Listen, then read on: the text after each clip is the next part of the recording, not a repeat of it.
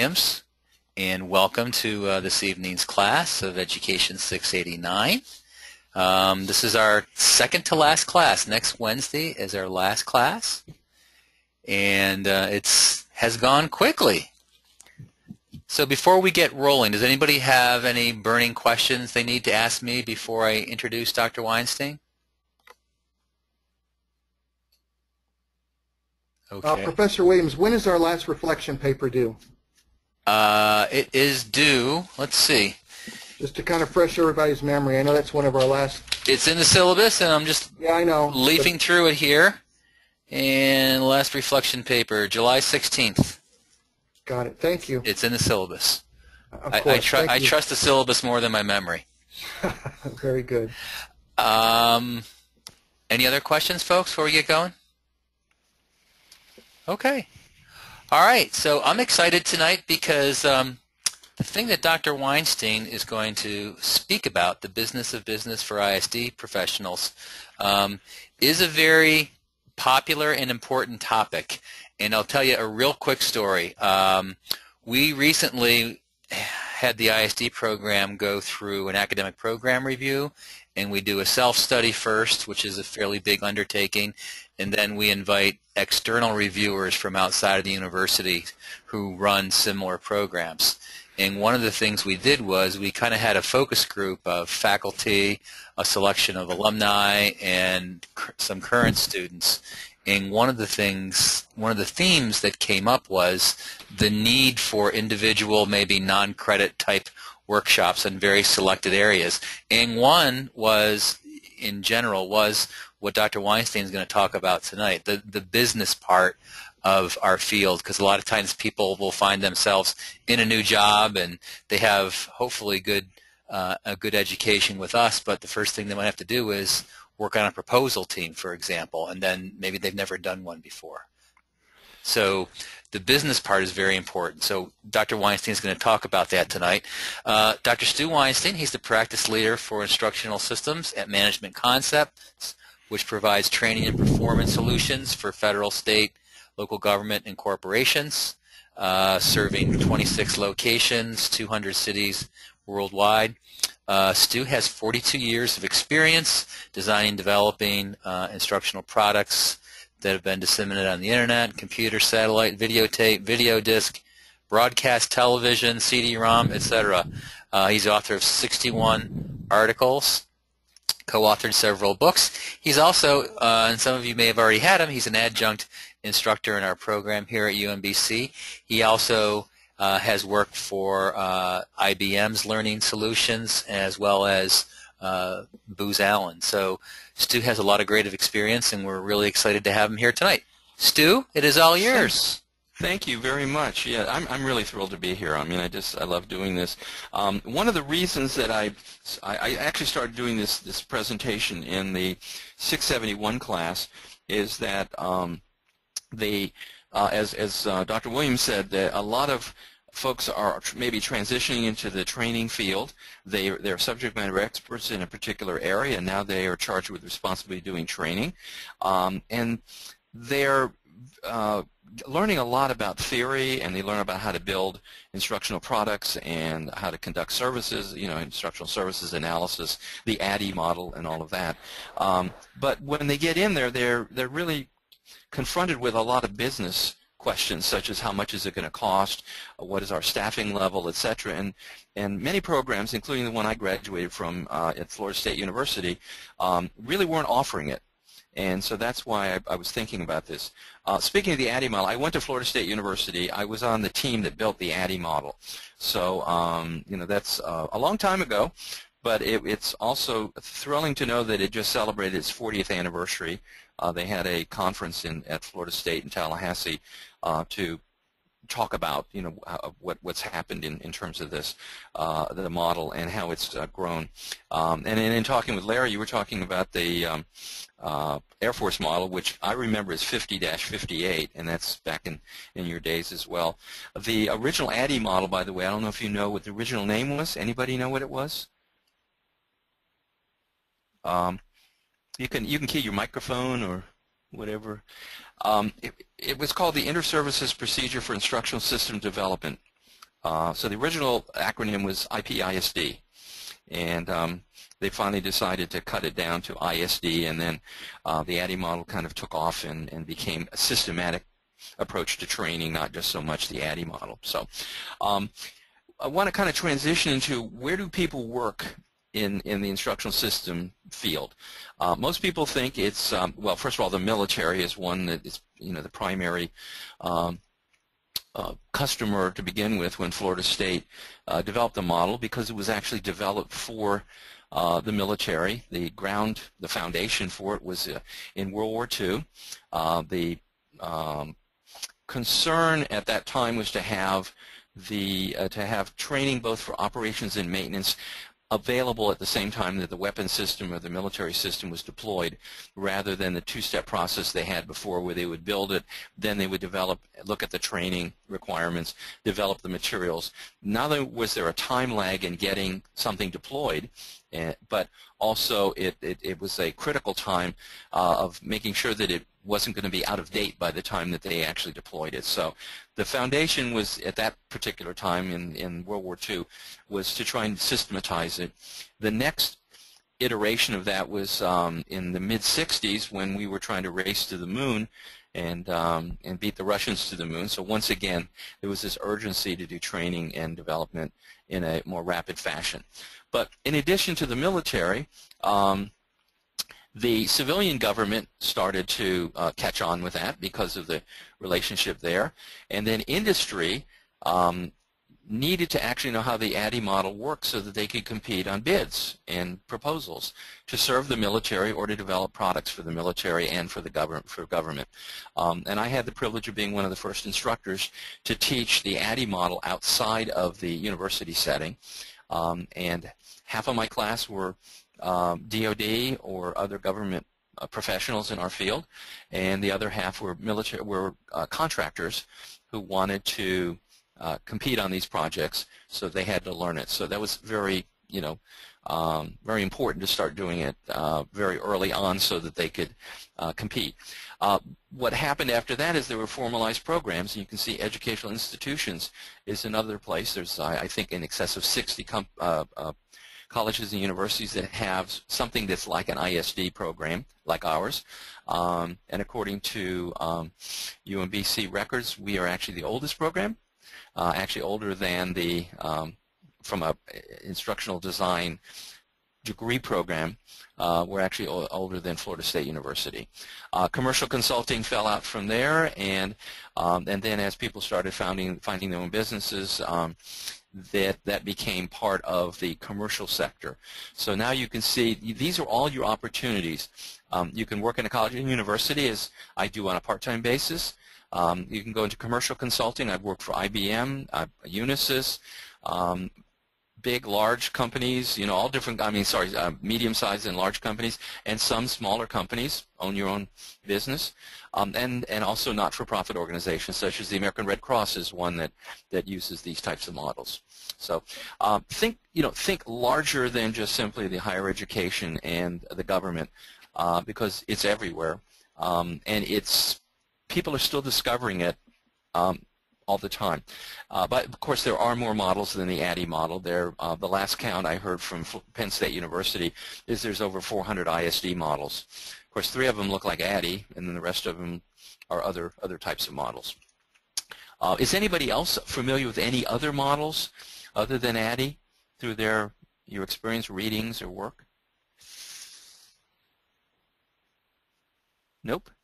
Um, there's one uh, you might also see if you uh, are interested in, in, looking at, well, I'm going to actually cover a little bit later, but there's also some models that are a lot, a lot more abbreviated than the ADDIE model.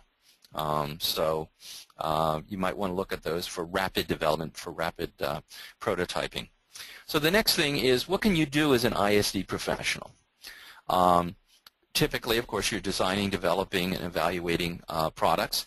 It's gotten so specialized now that some people are just doing one of those, whether they're just doing the design piece or they're just doing the development piece, particularly the development because whether it's technology-based or instructor-led training, um, maybe different set of skills. Some people have been teaching in, uh, in instructor-led training um, mode for a long time, but haven't really picked up on, uh, you know, like Articulate and uh, other types of, um, of applications. So they may stick right in their swim lane of, of just doing instructor-led training, which is what's happening where I, where I work. Um, we're a company of about 400 people. We have 147 instructors and, uh, um, and teach worldwide, but some are not involved in technology-based learning, others are. Um, so you, you can specialize or you can generalize. Um, some of the questions, I'm trying to weave some of the answers to the questions in here. Um, what do you do as an instructional designer and how do you get started? It all depends what your background is. Um, some are subject matter experts who now design, develop, and deliver within that area. Others are generalists who work with companies who have subject matter experts. We have both in, in the company I'm with. Um, and then some who are technology specialists, and some people are, are technology learning specialists, and others who are instructor-led training specialists. So uh, there's a lot of different ways that you can get into this field. Um, in addition to the entry level, which is primarily the first bullet there, you manage other ISD staff. And that means that you're you know, mentoring and coaching as well as handling the business side of it uh, which I'm going to cover a little a little bit later, about writing proposals for business and bidding and uh, supporting your excuse me supporting your upper management in doing that. Um, I had a couple of questions, or there was one question in here. Uh, is managing subcontractors or vendors important? Absolutely. Um, I, I I'm on a project right now, and I'm managing five. I've I have been on projects in which I've had as many as 19 subcontractors. Um, so subcontractor management, vendor management is really important uh, because you may not have um, enough staff to do everything yourself. Um, so there's a, there's a coordination that takes place. The other thing, too, that you got to keep in mind is uh, if you're the prime contractor, the one who has all of the who's getting all the money, you know, obviously at the top, um, the quality of your subcontractors really reflects the quality of your total product. So the management is really important. Uh, you want it not to look like it came from 19 different sources, for instance. Um, you want the client to be happy, and they're not really concerned about um, how you do it because they just look to you to as this prime contractor to, to deliver. But you've got to make sure that the people who are not on your staff but are representing your company anyway, uh, do it the right way. And so that's one of the reasons that as instructional designers we can help them do that. Um, some of the subcontractors may just be subject matter experts, not instructional designers. And then the last thing really is um, consulting. Um, and that may be that you're not doing any design, development, delivery, but you're involved in strategy. Um, many companies now would like to move into the uh, more um, standardized instructional design mode rather than the ad hoc where you know the people just get up and tell stories and and um, you can't replicate that uh, because they're their own stories and it's their own delivery. And in companies such as the one I'm working for, um, if we're teaching 10 different course, a course with 10 different instructors, we'd like to make sure everybody gets the same content. The stories might change because each person has their own background, but we want to make sure that the core curriculum um, is the same regardless of the instructor that you get. That we owe it to our client to do that. Uh, we also owe it to our customers because they may be sending people every year and they don't want to have 10 different ways of doing the same thing. So that's one of the um, the areas there. Let's see. Um, oops, I just got a, a message here. Hang on a second. Uh, we just had, we had a little power problem here, so I, I got it fixed now. Um, uh, what's also important too, and uh, is it, when you're working for companies, a lot of the companies get their get recognition in the business community by the awards that they might win. And uh, whoops, have, did I just lose you guys? Hello? Wow.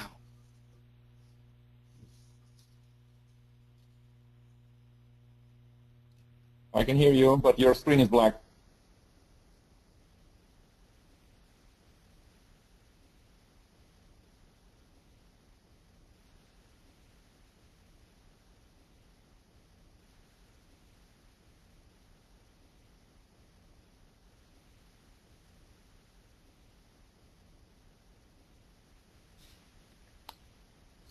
Hey, Stu, this is Greg. Uh, we're, we're seeing a black screen right now.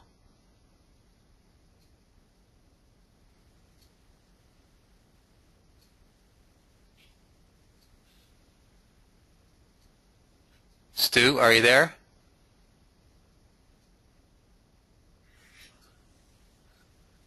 Okay, folks. Um, what I told Dr. Weinstein before we got started that um, if he has an issue, the best thing is to log out and log back in. So maybe he's doing that right now. I am not sure. So let's hang tight here for a minute.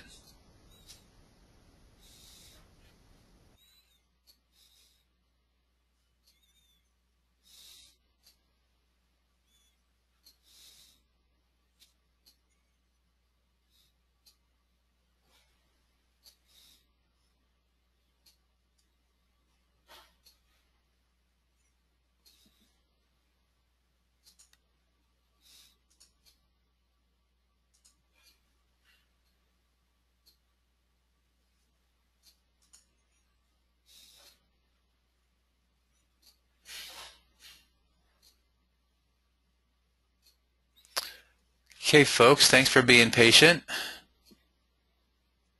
I haven't received a call or anything from Stu, so we'll just have to hang tight here. I'm not sure if he was having a power issue or what was going on there.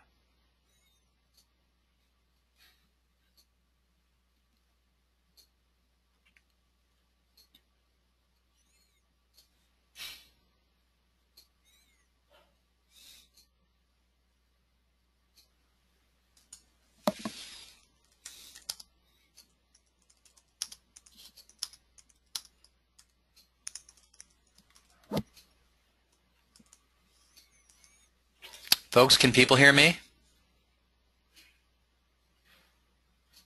Yeah, can you hear fine? Yes, sir. Okay, all right. So it, it appears from a quick glance that Dr. Weinstein's the one having problems. All right, so like I said, hopefully he's trying to uh, log out and then log back in successfully. I'm not sure what sort of issues he's having.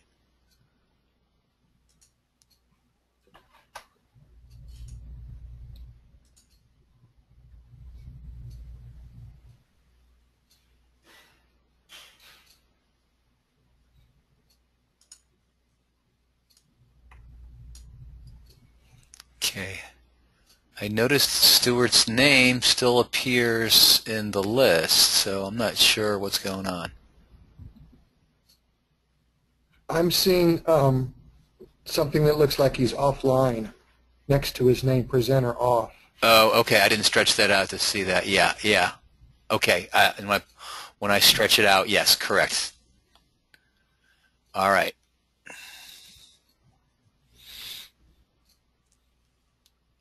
Yeah, I saw that message probably like everybody else did that said he had to plug into a power source because his battery was running low or something on his computer. Yeah.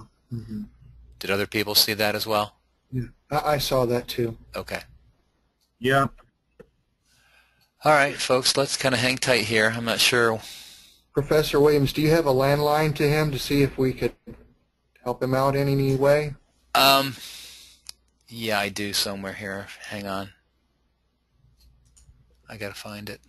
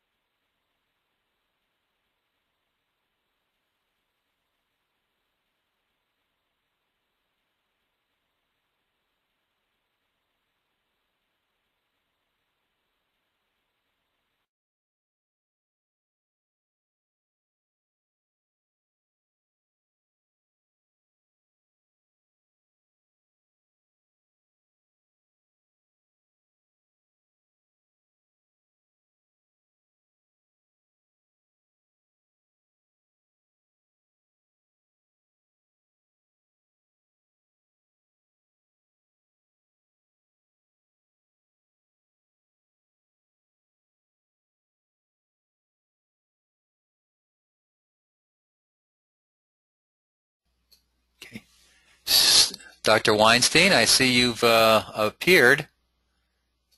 Are you there, sir?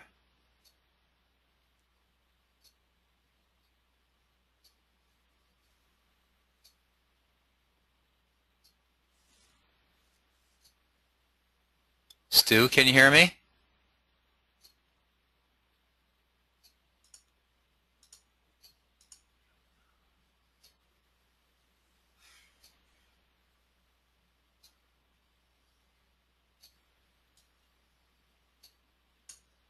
Stu, can you hear me?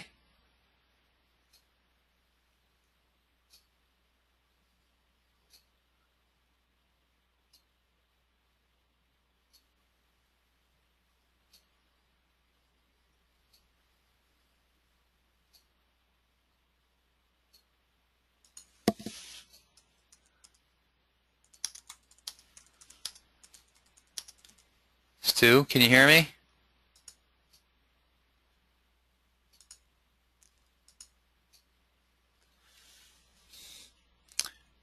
Okay, folks. It appears that Dr. Weinstein has logged in, from what I can tell, because I see his name appear in the list of people. Um, but he is not, I don't hear any audio from him, so I'm not sure what's going on.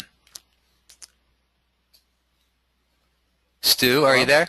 Hello, Stu? Yes, I am. Actually, um, for some reason, uh, the audio on here on my headset Uh-huh. just went to static.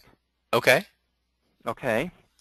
So let's see if we can. uh, All right, I will I will make you the presenter once again. Okay, thank you. Yeah, let's just see. I don't know what happened there. Uh, We we lost we picture. We just saw a black screen and yeah, I know. I know. I'm trying to. See what I okay. can do So. I've Okay. made, made you the presenter. You've got to Center. Okay. okay, click on and show your screen. There you go. My screen. Here we go. Okay. Yay. We're Everybody else back. hear me? Yes, I'm on the telephone, obviously. You know, just. Oh, I don't know if you know that, but that's what. I'm Yeah, doing, you 'cause can I the, can't you can t- I can tell the sound difference now. tell the difference. Yeah. yeah, it's just and this the quality's fine. working. Okay. Hang on one sec. Okay. Hello? Can you hear me?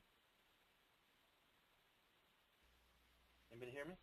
Uh, you sound far away, but I can hear you. we'll just con- we'll conti- we'll, we'll continue. We'll you, you sound again. fine now. Okay, great. All right. So uh, what I was getting at, what I was talking about, is that there's a lot of awards, and using the criteria from the awards, oftentimes for businesses, gives them um, a lot of, of clues on how to be best, you know, in, in, in the best practice.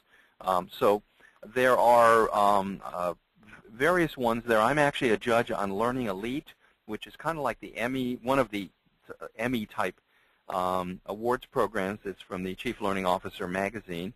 There's also Training Magazine. There's the American Society for Training Developments, uh, Excellence in Best Practices, etc.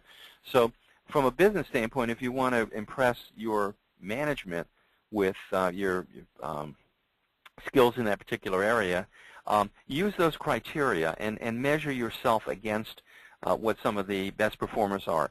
By the way, many of these uh, awards also have um, reports and um, and books that come out um, as well on it, so that you can actually read um, why these people have have uh, attained these these high rankings. Um, so that's just kind of a clue right there to to figure out how do you want to grow your business, how do you want it to look better. All right.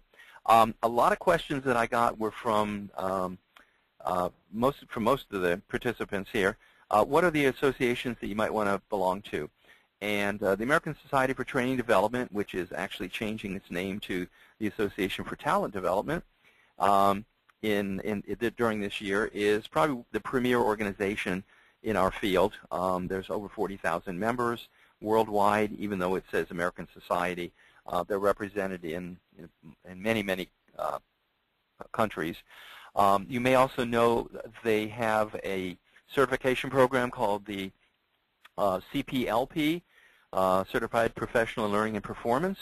Uh, I had the pleasure of actually working on one of the uh, the teams that built the CPLP um, testing, and uh, the person who's the head of that uh, was also an employee that worked for me at, at Booz Allen Hamilton. Is very very skilled in doing certification programs.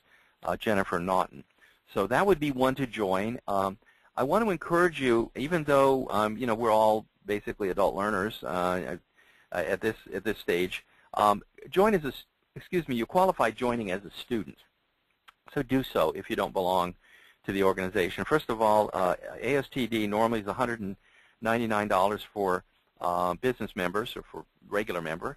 Uh, students are $79 and you get basically the same uh, benefits, um, both on registration for conferences as well as um, you get discounts on books and other, those other types of things. That's the national or the international organization. There's also a local chapter, um, local to, to um, UMBC, that meets right next door to where uh, we um, have our classes, and that's on the South Campus, the um, technology campus, and that's the ASTD Maryland chapter. They meet um, 10 times a year, and once again, um, they also offer a both a student fee for, for coming to the uh, to the uh, monthly meetings, which is ten dollars. Normally, it's like uh, if you're a member, it's 15. If you're a non-member, it's 25. So take advantage of that. Um, ASTD tends to be more geared towards practitioners.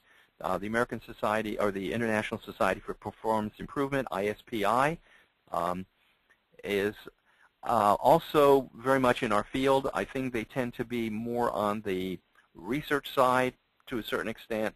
Um, they do embrace the same types of things that we do, um, so that if you're interested in that, you might want to check out ISPI, an excellent organization.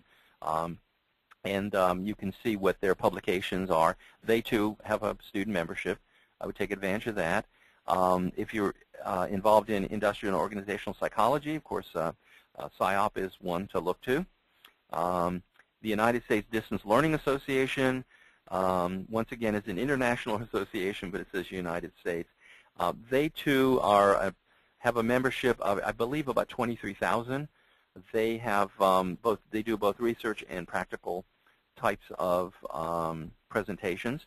Uh, they publish a journal, as the others do, and they have um, they have conferences, annual conferences, as the others do as well.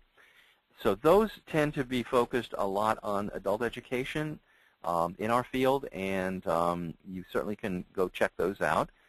The Association for Educational Communications and Technology is focused primarily on K through 12 and uh, community college, but uh, they do have special interest groups within the organization that um, are dealing with teacher education as well as professional education.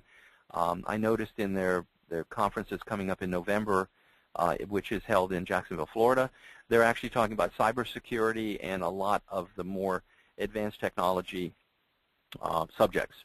So that would be one to check out. Um, they are they've been around uh, a little bit longer than ASTD. ASTD, I believe, started um, about 45 years ago, and and uh, uh, AECT um, is um, a little older than that. They were actually part of the National Education Association, and then broke off from there. So there's a lot of history in in these organizations, and you might want to uh, check them out for your professional growth. Uh, belonging to them also is a, a, a, key thing if you're putting it on your resume or you're talking with your boss. Um, all of them offer the opportunity for a, an enterprise membership, meaning uh, depending on which organization, but it may be anywhere from 5 to 10 members uh, in the organization will have individual memberships um, at a, a, substantially reduced rate than if 10 individual people join from your organization, sometimes as much as 25% off. So you might want to look at that um, uh, as well. Uh, the uh, wanted to focus on some of the studies that might help you understand in terms of what the state of the industry is, um, what's popular, what's going on in terms of the uh, uh, the trends. A lot of questions I had on trends. ASTD State of the Industry Report um, is, I you know, I really think is probably the best in in our field. Um, if you're not a member, the cost is about $400. Um, if you are a member, it's free. So keep in mind, even if you're a full member, which would be $199, you're actually getting a, a report that's worth twice as much. And that's just one of the membership benefits. But as you can see here, the it um, represents a lot of organizations um, in, all, in both military, government, not-for-profit, everything I talked about in the, in the front end there. Um, excellent research. They do a, a, a, phenomenal job in terms of um, giving this, the metrics that you might need in business to your leadership so that they understand what the cost is and what the popularity is and all of the, the different things that they're doing. So um, I, I encourage you to join ASTD if you're interested in getting this report because um, you can download, in fact, you can download it five times. So um, although it's a copyright infringement to be um, uh, distributing it, um, you can certainly share it with your, you know, your copy you can share with your um, uh, colleagues at work. Um, in addition to that, they have a, uh, uh quite a few um, reports that look at specific areas that might be of interest to your leadership and to yourself as well. The Learning Executives Confidence Index um, is very important uh, because you can see what the trends are. Uh, there's a lot of questions on trends. What is um, uh, on the horizon? What is going, you know, going down? And it's done four times a year. Um, now, the this one is also a um, a fee for this particular document, but the way that ASTD structures their fee, uh, their um, benefits is that you can select which of the um, four purchase books that you would like to have, and you're given so much. It's kind of like a bank account. You're given so much um, uh, money or opportunities to download, and so you could select this as one of your choices if you wanted to. Um, I'm not really sure what the um, the rate is now. It used to be somewhere around 100 bucks for this particular one, um, and you're getting it four times a year. Um, so that's something to look into. You can you can get a preview of what it contains by going on the ASTD.org website. Um, many questions came up about salary and compensation. Here's another one that you can get. Um, it's done on an annual basis. Um, I think it's a little bit more reliable than going on to some of the websites uh, such as Glassdoor or um, Salary.com uh, because these uh, the collection, the data collection for this particular document is um, done by ASTD to people who are in the field. And uh, it's rather comprehensive, but it does include all the things you'd like to know about. So if you want to see how you fit in with the industry, um, you can get this book. They also There's also uh, the Chief Learning Officer magazine has a calculator and you can go on their website and you can say, I live in, you know, um, uh, it, it could be by state, it could be by, you know, location like Mid-Atlantic or, or Northeast, and then you put all the information in there, what is your degree, your level of experience, the areas that your, uh, cap your capabilities are. Um, you put that all in there, and then it'll calculate what the mean salary, the average salary is for people in your profession uh, by title. So you can look at it, you know, an entry level, a mid level, a manager, etc. Um, so here's another one that you can you can get and download uh, from ASTD. Um, as I pointed out, there's uh, professional magazines. Um, I and what I'm going to do, by the way, uh, as I went through the questions, I will send Dr. Williams a listing of of all kinds of resources that you can get, and you can click on them um, because it's just too extensive to do on this, this kind of uh, forum that we have tonight. But you can get at no cost, and you don't have to be one, the Chief Learning Officer magazine. You can get it in digital form, you get it print, and you get or, or both. Um, there is no cost. Um, the only quali you don't the only way to qualify is to uh, apply for it, and um, you all would you all would qualify because basically whatever you're doing in your respective fields would be fine. Um, two things that I just pointed out here as an example of some of the things they do. Um, the, uh, you'll see on the left it says HCM Advisory Group. That's not the Chief Learning Officer magazine. It says Chief Learning Officer Executive Research Brief. That's from an organization called the Human Capital Management or Human Capital Media Advisory Group, uh, which I belong to. You can get it for free, but HCM actually publishes four magazines. Um, one of them is it deals with diversity, if that's something that uh, that you uh, want to include in your repertoire, um, and also uh, other magazines. They're all free. They're all downloadable. They're all available to you just by um, applying online for them. The other one on the left is the Chief Learning Officer magazine itself.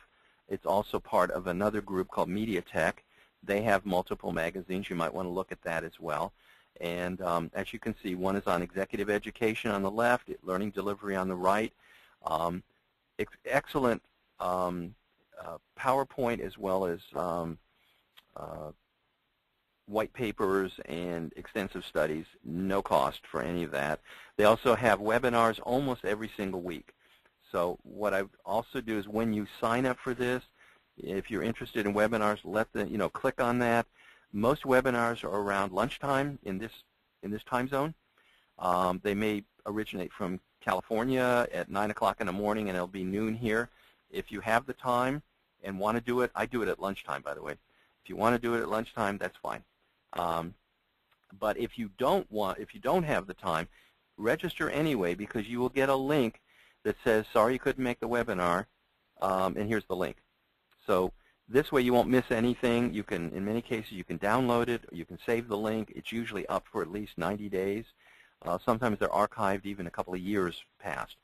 So if you can't make it, click on it anyway, and, and your um, spare time when you're not writing these extensive papers for Dr. Williams, I'm just kidding, um, you, could, you can actually look at, the, uh, at these webinars.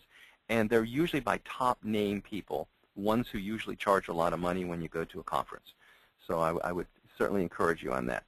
Here's another one, I, and I really encourage you to get these. Also, again, free. Uh, the company is Chapman Alliance. Brad Chapman is the owner. Um, he, these two studies, I don't think there's a week that goes by that my leadership uh, at, at the company I'm working for doesn't use it. But how to how long does it take to create learning? Uh, the one on the left, um, it's a PowerPoint presentation. Um, it is based on over 4,000 um, responses, makes it very, very credible. Um, and it actually represents something, I'm trying to remember the number now, but it's something in the area of like uh, 10 million learners or something of that nature. But what it does is it takes the ADDIE model and it breaks it down into some very discrete metrics. Like if you're doing front-end analysis, how long does it take typically for um, your uh, data collection? And then it, um, it, what we call stratifies. It breaks it out into easy content, middle-of-the-road content, and extensive content. Um, so you can look at it and slice and dice it a lot of different ways. And the way you use this is um, when they did the study, with the one on the left is done in, in 2010, don't pay so much attention to the cost because you need to plug in your own numbers for your own organization. Um, government is going to be somewhat different than commercial because commercial has a profit on it. But you can look at that. It's a PowerPoint presentation of about 30 slides, but it takes you through um, every kind of permutation that you'd ever want to do in terms of cost analysis. Very reputable. And when I get a little bit later in the presentation, you'll see that when you do a, a proposal, oftentimes they want to know how did you come to those numbers? How did they call it basis of estimate? So get that. It's uh, Chapman Alliance. When you click on there, that you just look at their resources and you'll you'll find it. It's not very hard. Or or Google, just you know Google or or use Bing or whatever you use. Um, how long does it take to create learning? And it'll pop right up for you. The one on the right uh, the one on the left basically is looking at classroom-based instruction and very basic CBT. The one on the right is looking at blended learning and, and uh, goes into more extensive um, electronic or technology-based learning, uh, such as simulation, etc. Once again, it's a benchmark study. It doesn't cost you anything. It was done in 2013, um, and it's very, um, very current. Even the one in 2010 is still very um, beneficial. Um, as, as far as how long does it take to do it, it's still the same. How much does it cost? You plug in your numbers and you can, you know, you can figure that out. All right. A um, couple of other questions I had is what's new in the field? Um, how many people, if I can, if anybody wants to put it in the chat or, or Keith or Mike or something, have heard of the six disciplines of breakthrough learning? Anybody heard of it? Raise his hand. Not me. Okay, I have. Okay, great. Um, I wanted to bring this to your attention because oftentimes what we're doing is concentrating on the design, development, and delivery, but not so much on the transfer of training.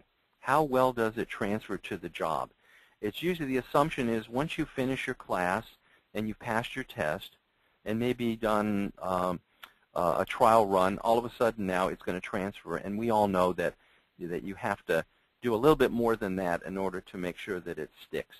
Um, this model, which um, has been around for quite a while, uh, was developed by it's developed by a company called Fort Hill Company, um, and don't confuse that with Fort Hill Paper, which does paper products like napkins and and that kind of thing for the food industry.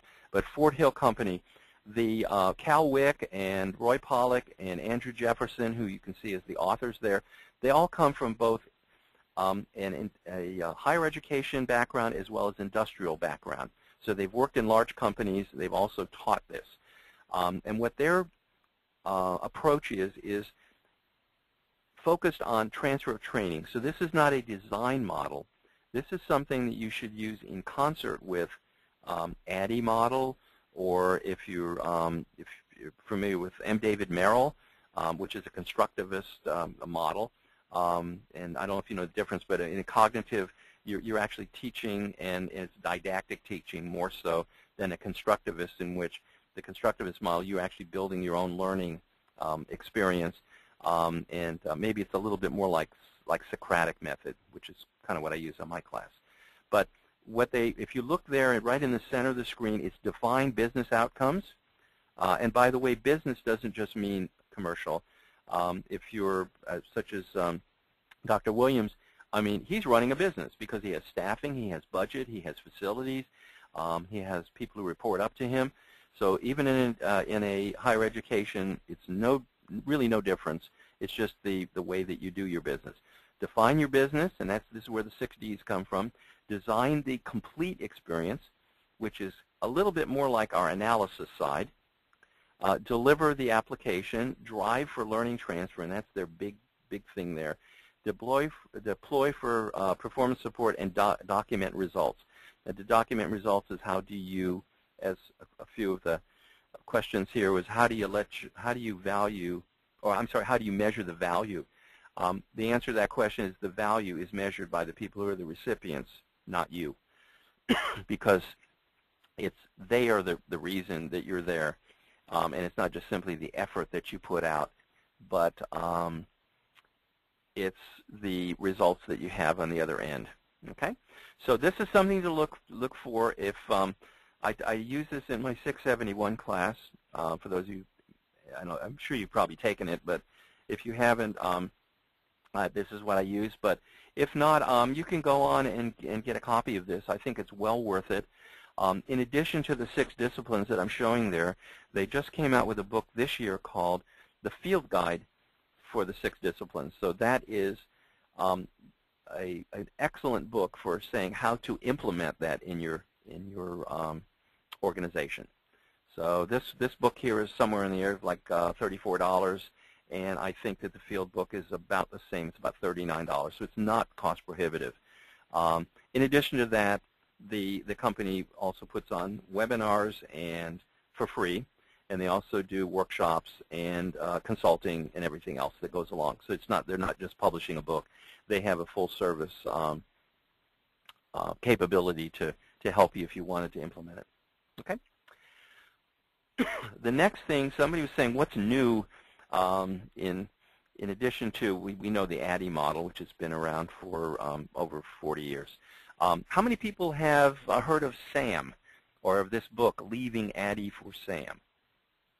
Anybody done that? I have.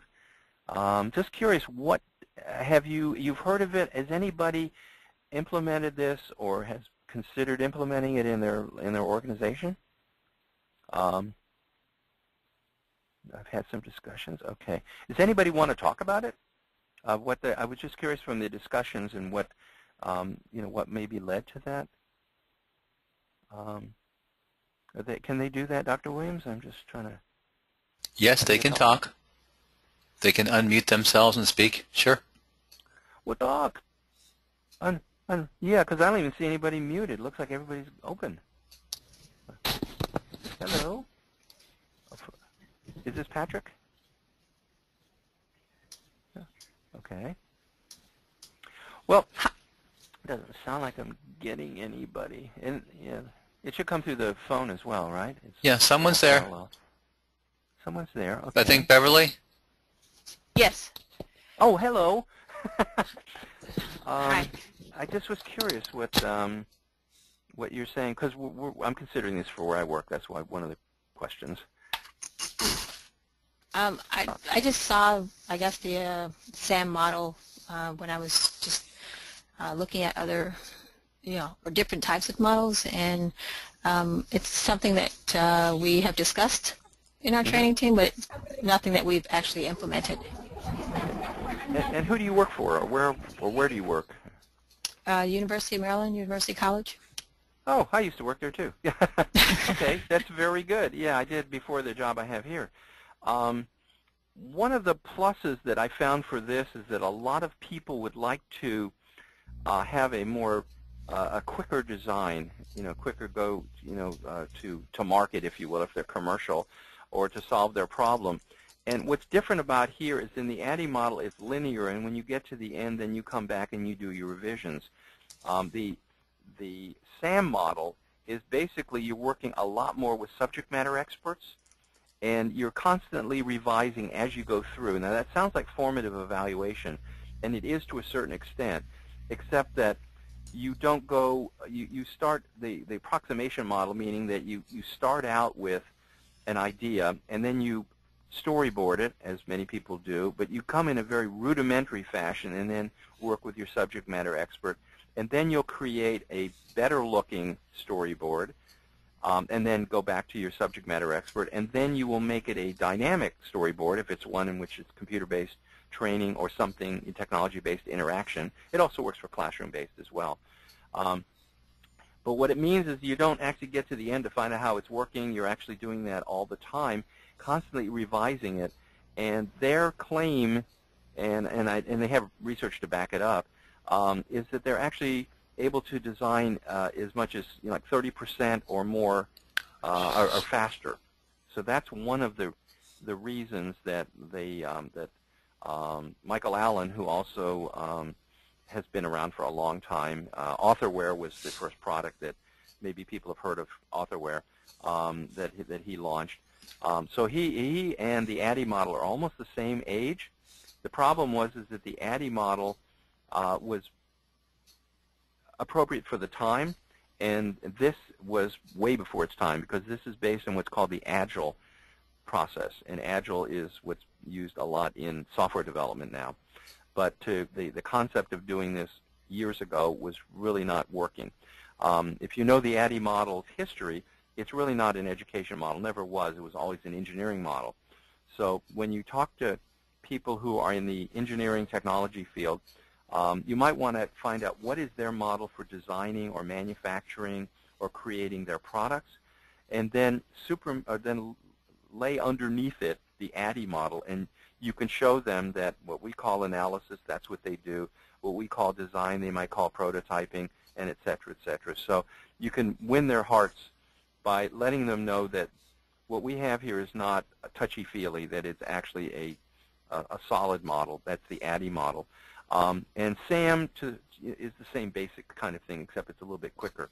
You can see on the left side there, um, th this is another, uh, I would say, uh, you know, a slide that you could put in there that um, helps your management and your customers, um, the recipient and the students, to know that you're not just simply doing this as a, a procedural type of process, but that um, what they've um, patented or, or, copyrighted here is that you have the um, activity, feedback, context, and challenge, and then they want the learning experience to be memorable, motivational, and meaningful. Um, if anybody's you know familiar with um, uh, some of the motivation models, I don't know if you've you had a chance to to see any of those, but um, this actually follows along with Malcolm Knowles' adult learning principles. It also follows along with um, some of the models that came out of um, Florida State University and others.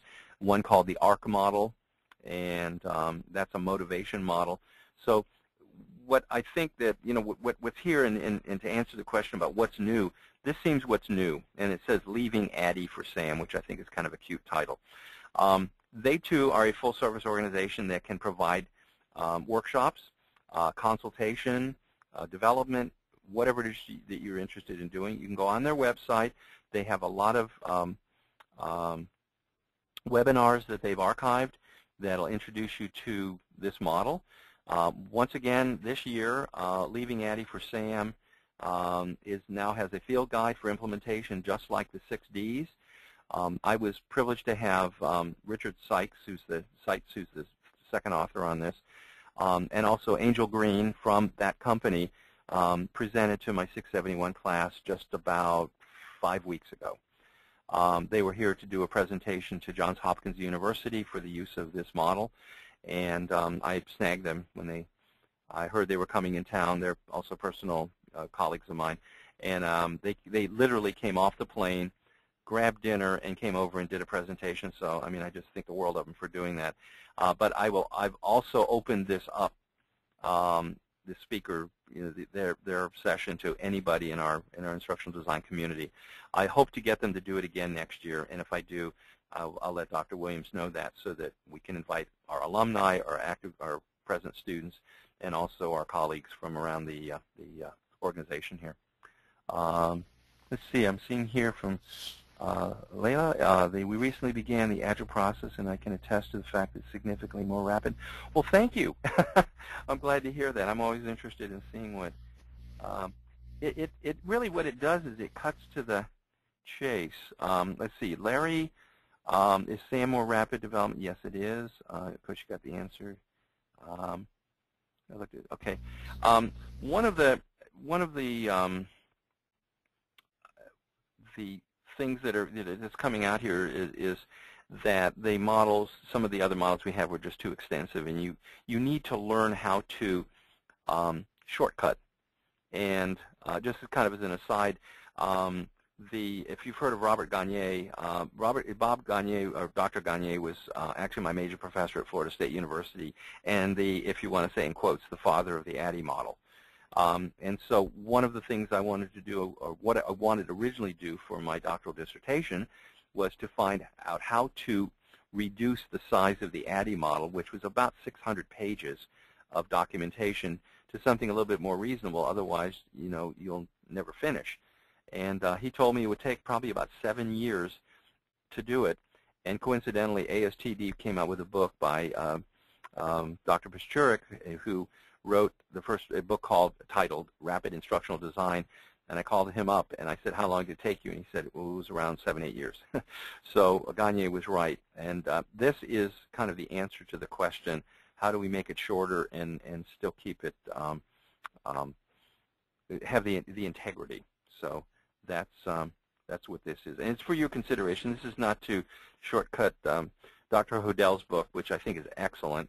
Um, I think really what I would do, and this is what I'm telling my leadership here, is we need to learn the ADDIE model and do it well here because many of the solicitations, procurements, requests for information uh, are asking us for our, uh, what can we do with ADDIE because they haven't adopted this model. But then if you have a choice and you want to do it faster and you want to save some money, this may be, and it, you know, it's not a commercial, but it may be the, um, the solution um, as long as it's not something that your client asked for. Always make sure your client gets what they want. Um, and um, uh, But there are alternatives. There's also, you might want to look up M. David Merrill. He has a book called The First Principles of Instruction. That's the one I alluded to not too long ago. Um, I was also a content reviewer for, for Dr. Merrill's book, so I know that pretty well. And his theory is called Pebble in the Pond. It's a little different way of looking at instructional design. Um, it's a little bit of a pricey book. It's about $115. But um, if you have access to that, uh, you might want to take a look at that as well um, because it is a different way to approach it. Um, what it's really looking at is um, a way for people to construct their own learning for themselves and then to carry it out. So it, it's a very simple explanation of it. Right, so um, I think we're, there we go. I, just realized what this is here. Um, so uh, are there any questions up to this point? Because this is kind of like a little breaking point here in the, in the presentation. Um, anything that anybody would like to present or discuss, question? Um, let's see, what is this? I have a feeling some of my vendors are using this mode. Oh, good. Okay. Uh, Stuart, this is Yes. Patrick. Yes. Patrick Malone. Yes. Um, Yes. I um, I use a lot of vendors for my for the, my e-learning products with uh, with Anne Arundel County, and when I discuss it with my reps, I, I, I tend to gauge them because they're not really familiar with the design process. Mhm. But when when I, when asking them kind of when I can expect you know new products to adopt to adapt to you know new education regulations, um, when I was presented SAM last summer, I had a and, and it was presented in the context that it was more geared towards the e the e-learning community or technology-based learning uh, because of its rapid prototyping and kind of cycling back on itself Mhm. uh, it, th- throughout development. So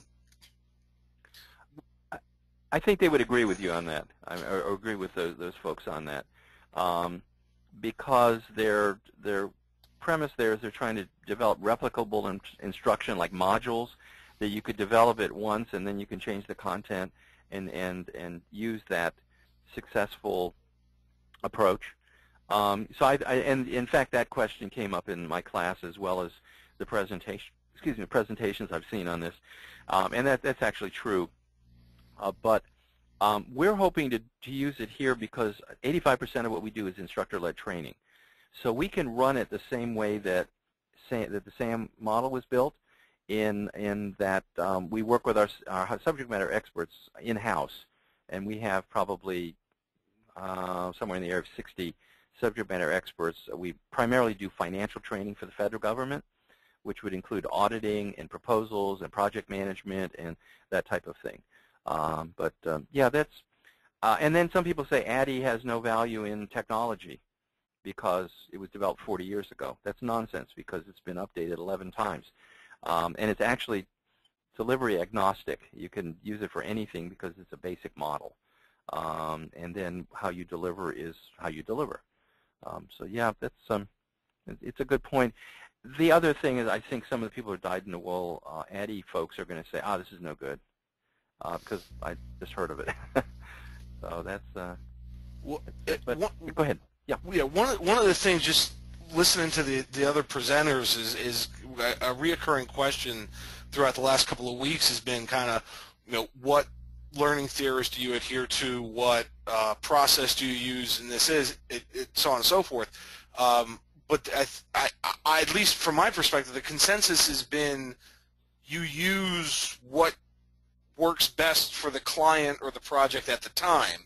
So to say I only use ADDIE or I only use SAM, that doesn't seem realistic, at least from the experts that we've spoken to Mhm. in the last eight weeks. And and you're right. Um, the ADDIE model is not the you know the gospel according to Gagne. I think the thing is you you understand what the process is, and I now, I don't even use the word ADDIE. I use systematic approach to training, which is it doesn't tell you it's not any particular model. I mean it, there is a model called that, but what I do I, I think they're I mean they're absolutely right. I agree with that. You internalize that process and you do deliver to the con to the um, um, customer or the client uh, what it is they want, and they're absolutely right. Um, because you understand that there's a systematic way of doing it. You're analyzing something, whatever you want to call it. You're designing something. You're prototyping it. You're, you know. But here's where the problem is: that some of your customers are going to say, "I want you to do it according to this model because I expect my reports, my periodic reports, to be in that same format." so you can't you can't say, "Well, we, don't really follow anything. Uh, we're just going to give you, you know, what our thoughts are." Um, so it, that's what I'm saying. You might want to at least be aware of and uh, a little bit more than conversant in the models. But then if you have a choice, you probably could cut through a lot of the, the uh, complexity by just doing it systematically. Um, and as I say, when we, we had our own, we, we're developing our model here, and um, I told them the same thing I just said. You know, if we're doing it internally, let's do it the most efficient and effective way to serve our clients. But then we just had a, a request for proposal that came out from the Defense Acquisition University. They don't use ADDIE. They use an ADDIE type model. But the difference is they have 41 reports for, uh, that, that you have to do according to their guide. Um, so you, you throw all of this out the window and you say, okay, I'm going to have to read your procedure and then follow your procedure because that's the only thing that's going to be acceptable to them if uh, if we win. Um, so uh, you know, um, I've been doing this a long time, and I, I, I most of the time never talk about all the theory.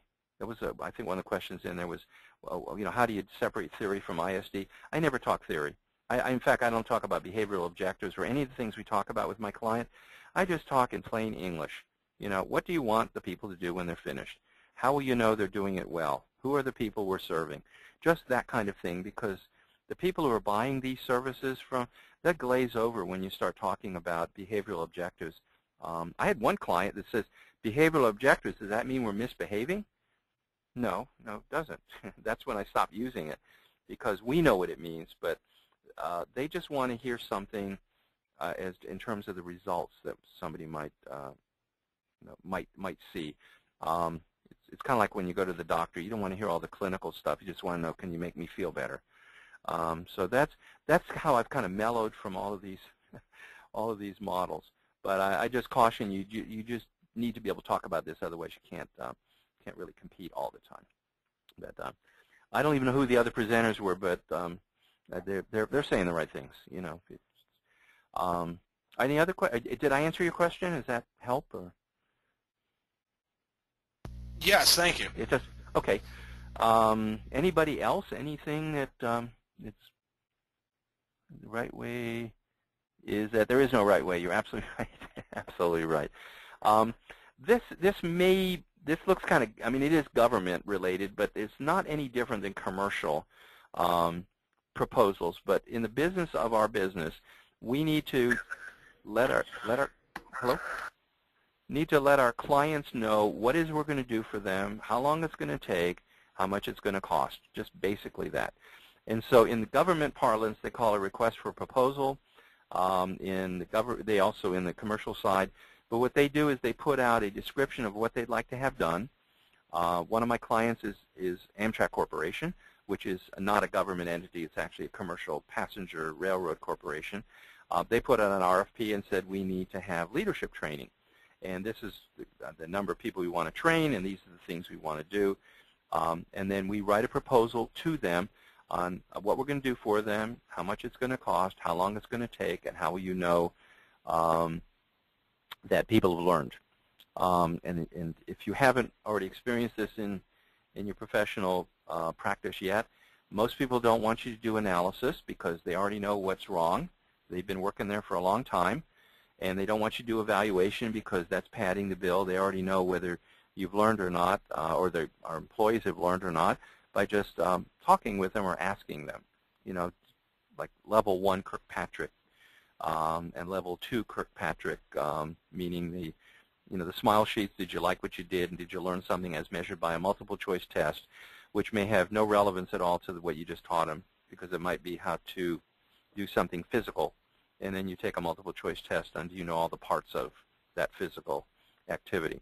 Here's what I do, and I, I use a lot of analogies and a lot of things that help my client know why I'm not padding their bill and why it's important for us to do analysis. Um, and I don't think there's an engagement I've ever been on when somebody didn't say, well, we don't need to do anal an analysis. How long is it going to take?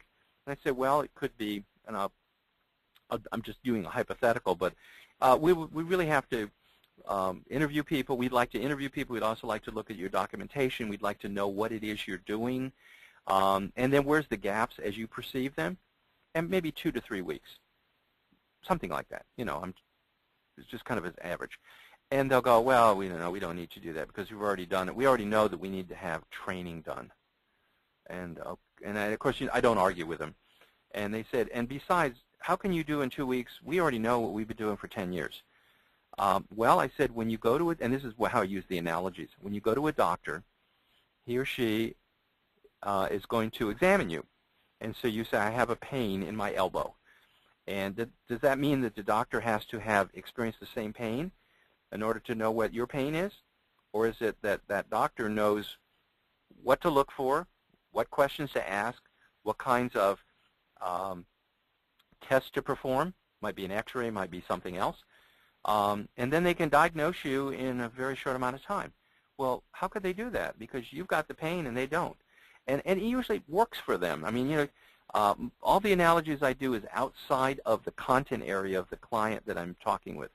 Because if you start talking and, and, and faking it or trying to figure out what it is that they need to do and using their terminology, they get very focused on whether you're correct or not correct in the use of your terminology, your concepts. Or, so do something that's like general to anybody, like going to the doctor or fixing your car. Um, and use that analogy, and then it kind of drives the point across without insulting them. But then they also start thinking, yeah, you're right. Um, experts can do things quicker, and they don't have to have had it in order, or you know, in the case of pain, in order to do that. So keep in mind, instructional design is not just theory; it's also uh, client management, it's psychology, and many times it's hand-holding. You know, so that's on the on the uh, analysis side. On the evaluation side, um, if you read the 6Ds book, this is one of my favorite quotes in there. When should we give a certificate completion? At the time the people register, the last day of class, or two months later? And most people, when I you do this as a as a webinar, say, oh, no, we need to do it at the end of class. And they contend, do it at the beginning of class because you don't know much more about whether they've learned it other than the tests you've done, or in other words, they're getting to the transfer training piece. You don't know any more about whether they've learned it the first day of class than the last day of class. So the answer is really months later. but we don't do that. We give the certificate of completion on the last day of class as they leave, uh, but they haven't really completed the learning process. So really, they should be awarded that once they can demonstrate sometime in the future that um, that they know what they're doing. It seems a little radical, but that's actually, I think, something that people need to um, to tell their clients is it, learning is not complete on the last day. Um, so here's a, and it's very hard to read this. I'm just showing as a representation, but you can see what they do is they talk about the background of the request, whether it's commercial or government, the scope of the work, um, all of the things that they're that they're requiring, you know, have done. May have to take a break and get some water. Um, the next, let me see, we get this here. Um, I don't know why this pop-up keeps coming up, so I need to get rid of that. Um, and then when you submit the proposal, it's usually a formal document in which you explain all of the things you're going to do, as you can see in here. Uh, maybe a little bit hard to read, but you're, you're not only talking about what you're going to do, but you're also providing information on about what you've done in the past for other people that is similar to what you're doing for them, or maybe even identical. So th this is another phase of our, another piece of our instructional design approach and that is we have to convey in words, sometimes in presentations, sometimes um, both, uh, what we've done to convince the the client or the organization that we are skilled at doing this. So this is just very typical. Uh, you'll notice I have IBM um, um, examples here. That's because I recently left IBM and I don't really have anything from the, our company here that is comparable to it. Uh, but this was for a very large training contract uh, worth upwards of $47 million uh, for the U.S. Uh, courts, and this um, the uh, final product was were five volumes, and it was approximately 450 pages. So that's a lot of writing, but you don't have to do it by yourself. Um, but that's that's one of the things you can just see uh, past experience, management plan, what kinds of things you're going to be doing. All right. And then in the past performance, they're kind of zeroing in on um, uh, whether it's commercial or government. Um, who have you done it for? When did you do it? How current was it? Uh, how much did you as a company um, or an organization, whether it's your own or whether the ones you're working for, and what was the price? Uh, oftentimes they ask that because um, if, if you're talking about doing $50 million projects and the biggest project you've ever done is $400,000, they may question whether you have the experience to handle something huge and big. Um, so that's what this is showing here is all of that information. This is all public information. There's nothing here that's proprietary um, because this was done for the government and it was six years ago. Uh, but you can see this is the type of thing. What they might also do is reach out to the technical point of contact. That's usually the person you deal with at the organization.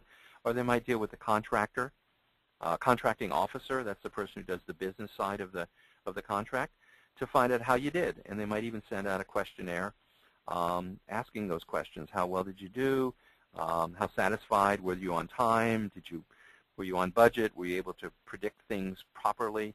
Um, and so that's something you need to be collecting the data and preparing uh, what people call sometimes qualifications. Sometimes they shorten it to quals. Um, when you do a project, capture all that data immediately so that if somebody asks it in the future, you have it ready to, to, um, to show. In addition to that, maybe the person who ran it is no longer with your organization. Uh, you may not be able to capture it years later when you need it. Okay. Um, this is an example of an incredibly complex presentation that we did, that I did, uh, to the to the government. But you'll notice right up there on the top is the ADDIE model, um, and what the customer wanted to know is what's our process, uh, how are we involved as a customer, what kind of tools do you use, and what do the, do the deliverables look like.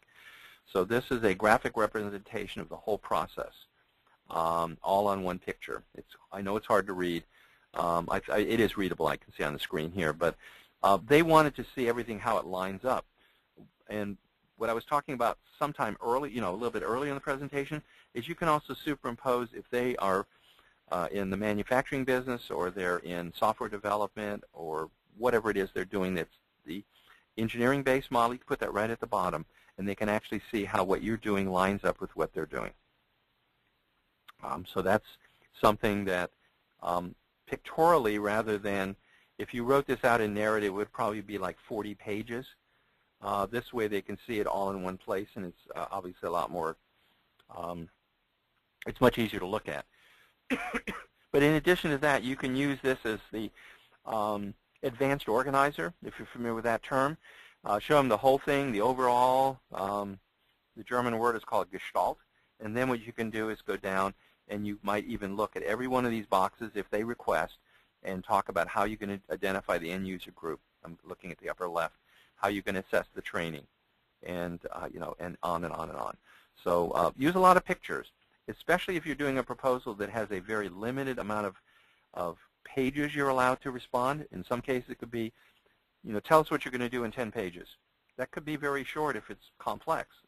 However, a picture, like they say, a picture is worth a thousand words sometimes the picture um, will get you through it rather than having them build a mental picture from your narrative. Hmm, pardon me. So, and one example, just taking the needs assessment using the IBM model that I just talked about before. But when they say, what do you do in a needs assessment? Well, we want to determine the current condition. We want to figure out what are your goals and then rank order in importance.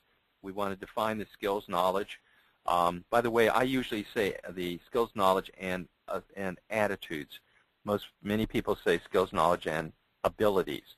Um, my bias there is abilities to me is the intersection of skills and knowledge. So it's almost saying the same thing twice. attitudes for me is something different, and they say you can't teach attitude. Anybody think you can not teach attitude? Um, Okay, well, here's an example. Here's another analogy. They say, well, you can't really teach attitudes. That's something that you kind of grow up with or, you know, you, through your um, maturation period. But here, here's one that I use as an analogy. You can, um, you're all drivers.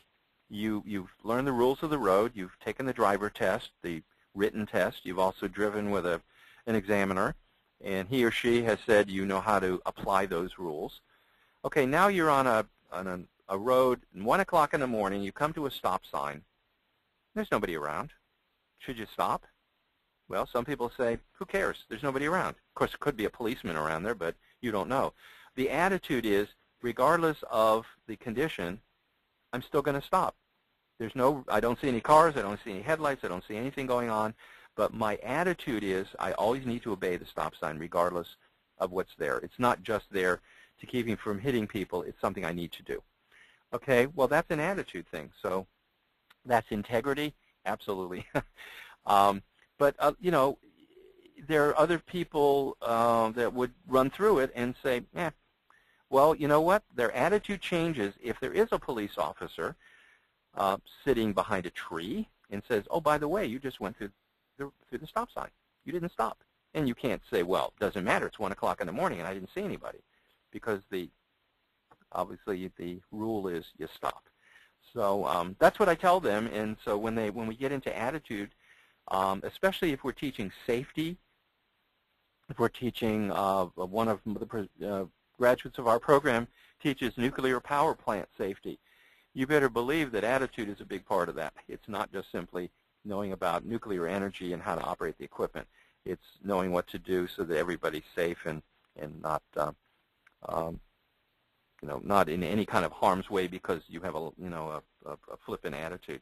And then of course you can see what the rest of it is there. But that this helps the client to see what it is, and as you can notice, um, it's primarily in just plain English. You know, this is just normal kinds of things that people in in organizations would would say. Um, the next thing you want to do is talk about how we're going to manage the work. And so um, you do it diagrammatically. Who's going to report to whom? And you might see that in this case we're talking about the at the bottom part the proposed um, uh, organization after we've been working for a while. That's in the kind of the shaded area. And then up top is when we get started. So we might show that in the early part of a project, we're going to have very few people to get it going, and then once it's underway, we have to add more people. That shows how you're spending your money, shows you how you're staffing it. um, you might also have in there what does the customer have to do? They have to provide people who are knowledgeable. Um, that could be one thing. If you're in a facility, you might have to have somebody escort you to the location because it's like a huge big plant or some, you know, a big manufacturing plant. Um, if it's security, you might have to have somebody unlock the doors for you because you don't have access without them. Uh, that kind of thing. So you want to do it pictorially so that they know how you're going to do the job. Um, any project, every, every project has risk. So you want to let the client, customer, your boss, whomever know what is the risk um, and how are we going to mitigate it or how, what are we going to do about it. And I think the biggest risk in our entire profession is getting subject matter experts to work with us because they usually have full-time jobs doing their full-time work. And all of a sudden now, even though the client or the company that you work for says, oh, sure, we'll have them available, the biggest roadblock, in fact, the biggest delay, is when they're not available and you have to deliver something. And they go, wait a minute, you know, we they're, they're making money for us. We can't pull them off of that to answer your questions. Um, so you put that up front and you start talking about um, what the risk is if they don't do it and how the schedule might be delayed if they don't do it. And um, you know, you're, you're kind of putting the onus on the people who are constraining you. Um, unfortunately, this happens a lot more, and I'm not being um, disrespectful. It happens a lot more in government than it does in commercial because commercial starts realizing the dollars lost in not getting to whatever it is they need trained, where the government might, they're not looking at it from a profit and loss standpoint. They may look at it from a mission not accomplished, but they, they may have more of a, the mission is more important than you because you're, you're getting paid to be a vendor, and our mission is what we do for a living. But then, of course, when it's late, they immediately blame you for the delay. So um, just keeping that in mind. I know there's people online here who work for the government. Uh, I've been doing this a long time too, and that usually is what happens. So what you do is you really form a good relationship where they understand, excuse me, they understand that when they say um, to the vendor, and this, this is to respond to whomever it was that was talking about vendor management, um, when I've had clients say to me uh, on, on the government side, it's okay, just relax for a week because we have this thing we have to do. Well, my boss doesn't relax when I'm not charging money because now he's paying me out of profit, or, or technically not out of profit, but he's paying me out of the, of, of the company's um, reserves for doing this.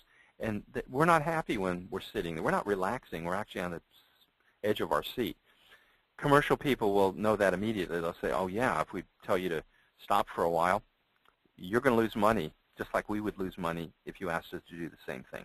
So keep in mind that part of this management process is, is um, client relationship.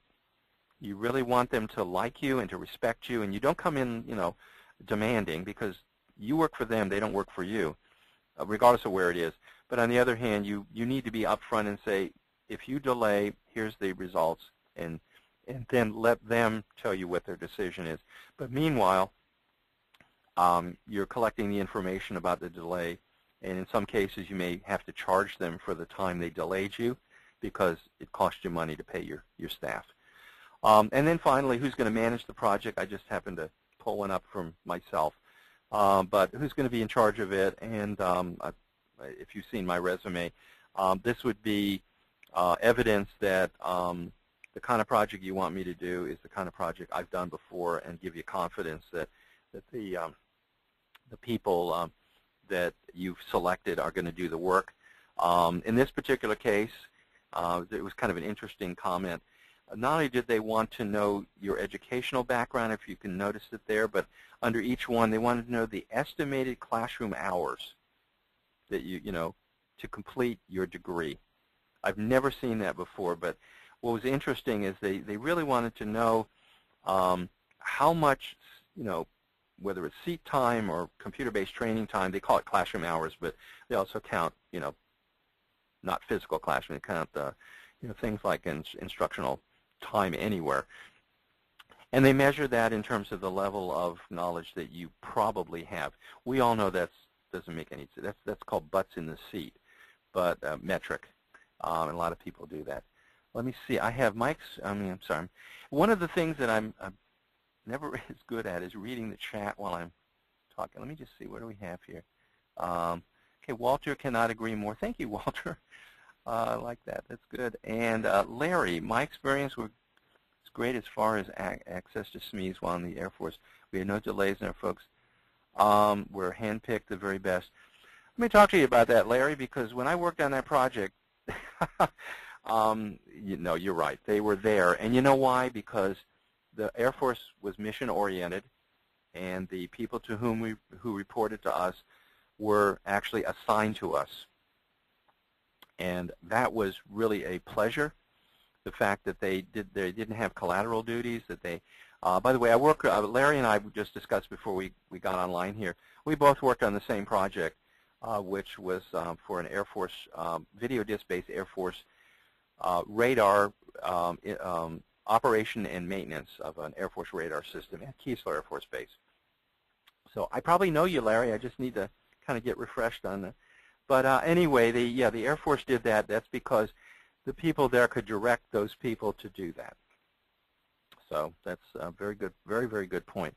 Oftentimes we don't have that luxury.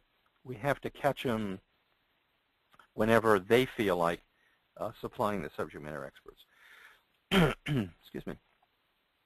Um, I'm going to just go through some, uh, this is another break. Does anybody have any questions? This is kind of a break in the thought process. Um, does anybody want to to uh, take a bio break or go go away for a few minutes or so? Um, I don't know what your protocol is normally. Yes, okay. Um, I, I, think I'll do the same too because I want to get some water. I'm I'm running out of uh, of steam here. Uh, what happened earlier was um, our it looked like our server went down. I'm working at I'm at work. The wireless system I, I think went down for just a brief period due to weather, and when it came back up um, for some reason, it didn't come up. So what I'm doing right now is I'm using a, a Wi-Fi that I have from Verizon in order to connect to the world. Um, and I don't think my Wi-Fi connection likes our audio or something, so that's why I'm on the phone. So why don't we take, how long do you break? Um, Whatever you'd like. Five minutes? That okay, let's fine. do five minutes. Five minutes will be fine. Okay. Thank you. Okay. Be with you shortly.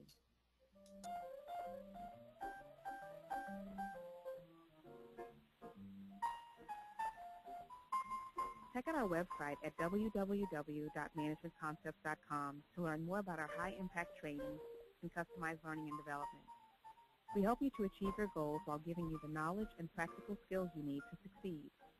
Please continue to hold. A representative will be with you momentarily.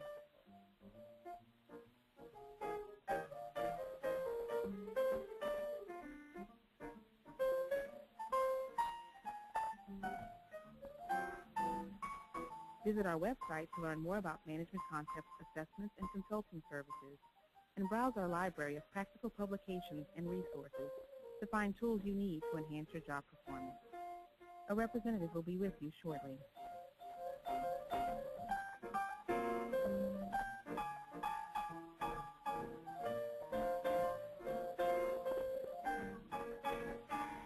At Management Concepts, we understand that each organization has unique goals and challenges. That's why we develop truly customized learning programs for each client combining the right mix of workshops, coaching, e-learning tools, job aids, and certificate programs. We invite you to visit our website at www.managementconcepts.com. We apologize for this delay. A representative will be with you momentarily.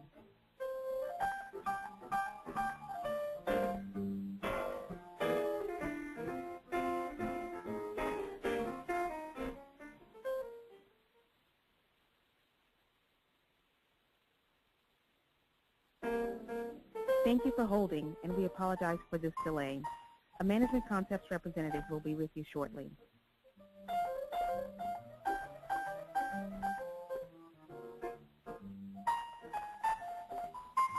Check out our website at www.managementconcepts.com to learn more about our high-impact trainings and customized learning and development.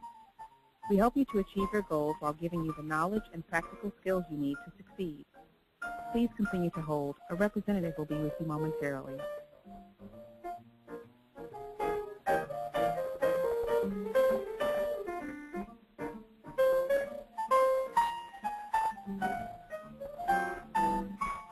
Visit our website to learn more about management concepts, assessments, and consulting services, and browse our library of practical publications and resources to find tools you need to enhance your job performance.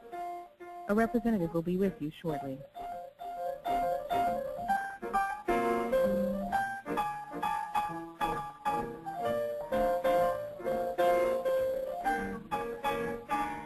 At Management Concepts, we understand that each organization has unique goals and challenges. That's why we develop truly customized learning programs for each client combining the right mix of workshops, coaching, e-learning tools, job aids, and certificate programs. We invite you to visit our website at www.managementconcepts.com. We apologize for this delay. A representative will be with you momentarily.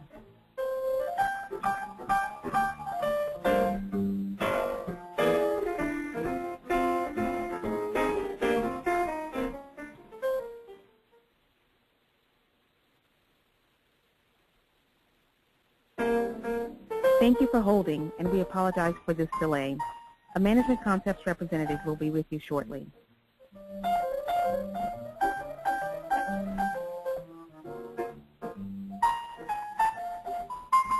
Check out our website at www.managementconcepts.com to learn more about our high-impact training and customized learning and development. We help you to achieve your goals while giving you the knowledge and practical skills you need to succeed. Please continue to hold. A representative will be with you momentarily.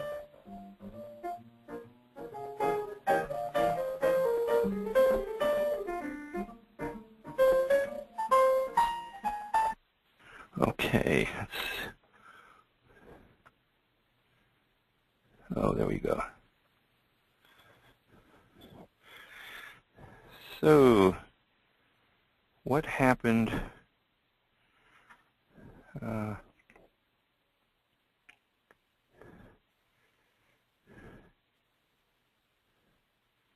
we back on? Let's see. We're here. You're here, yeah. What I'm what I'm trying to find out is now that my um, uh, instructor panel or the the panel on the right has disappeared. I don't know why. So just so I can. Um, hmm. Let me go back to this. Oh, here we are. Okay.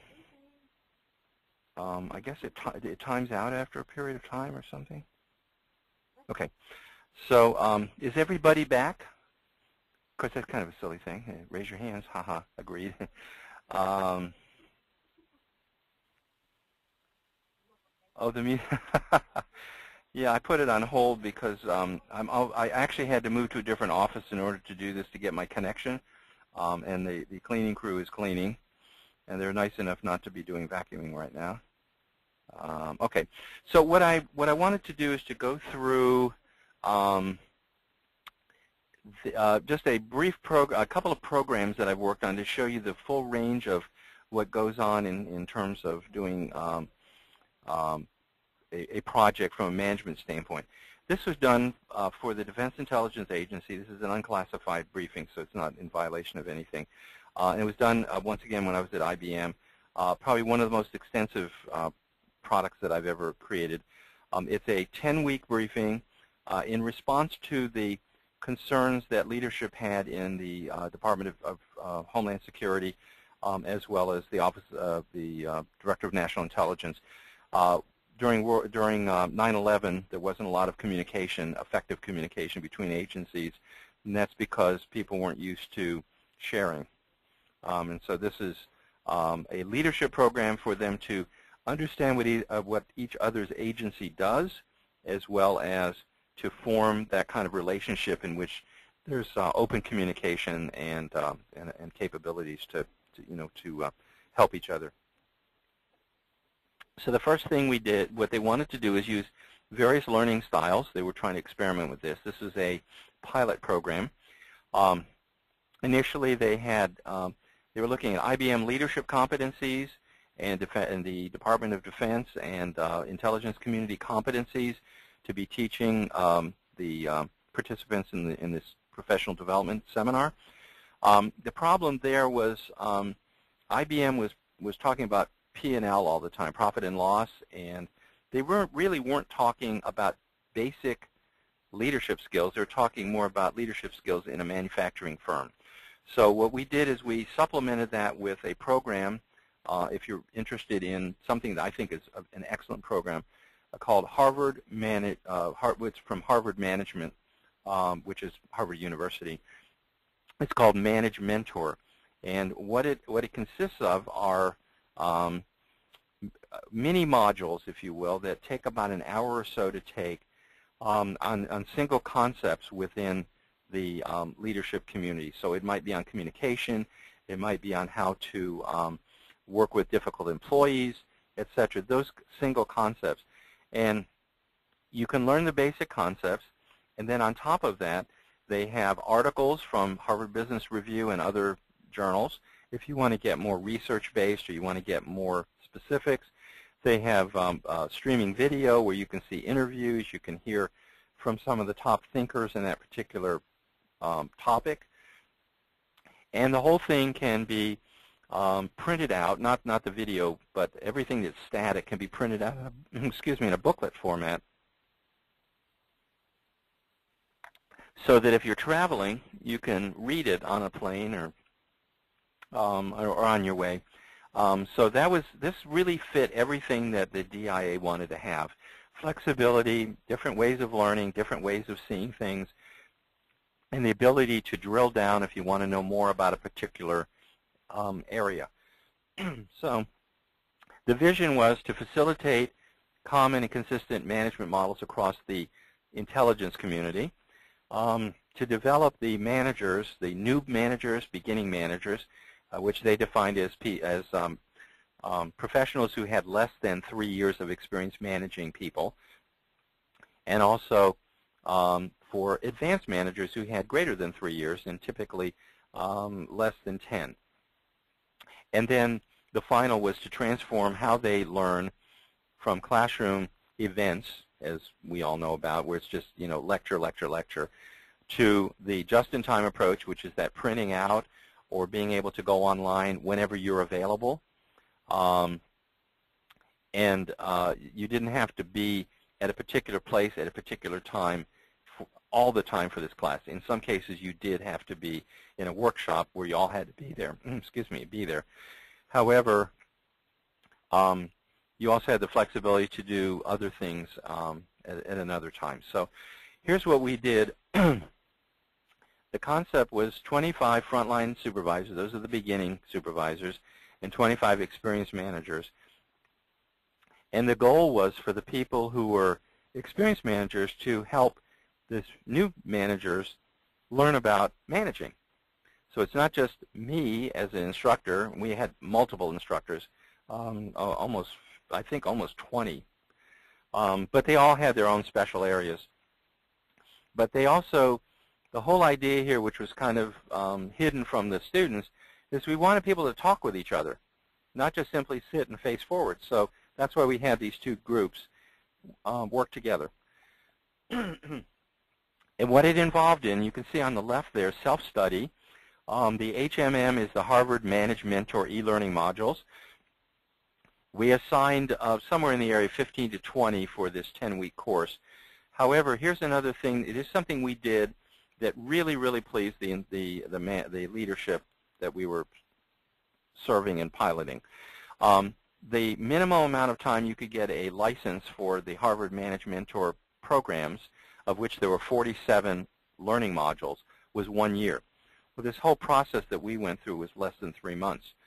So what we did is we said to, to the government, you've already paid for it, so we're just going to leave it open for a whole year. So if any of your students want to go back and either revisit what they've learned or look at some of the modules they've never seen, they can do that too because it's all included.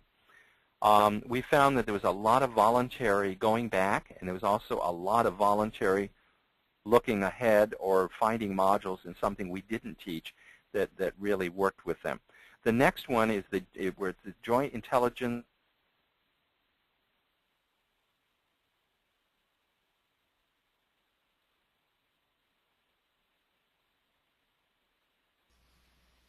Stu, I can't hear you. I don't know if it's just me.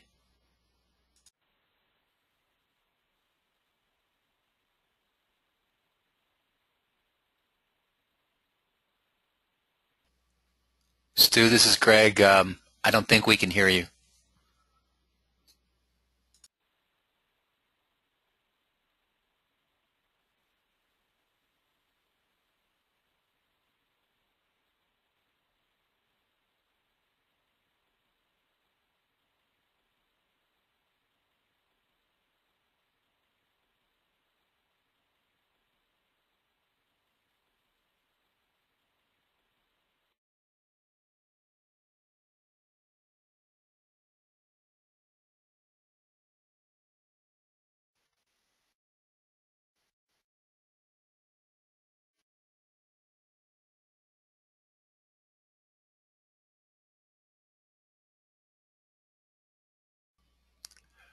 Okay, folks, this is Greg. Um, I think we've lost Dr. Weinstein again. I'm not sure um, if he's having some of the same problems he had just uh, mentioned to us uh, uh, a little while ago. So I guess all we can do for now is just kind of uh, hang tight and hope that he uh, is able to log back in and uh, reconnect with us. So let's be patient and hang tight for now. Thanks, everybody.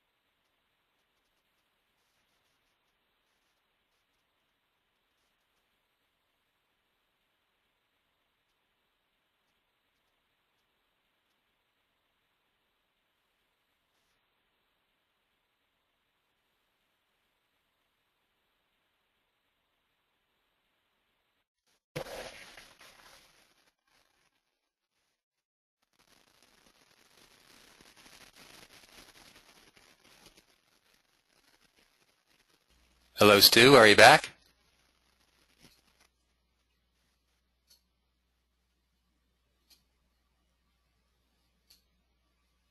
Hello, Stu. Are you back?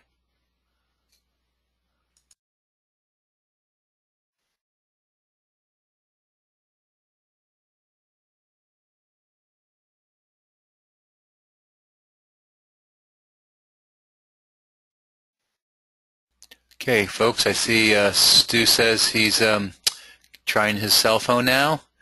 The IT group has gone home, so now he's on to plan C, he's saying. So once again, I guess we have to just um, hang tight and be patient. Thank you, everyone.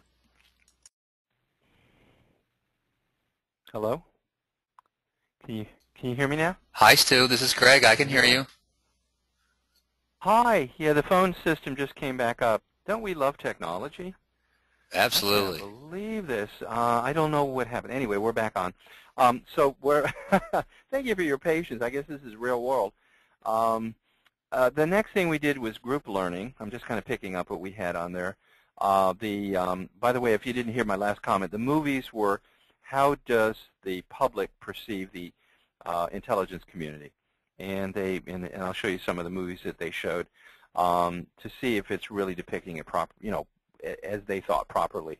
The group learning, we had facilitated webinar, webinars. We had learning, what they call learning labs, which um, are basically workshops uh, with case studies, role plays.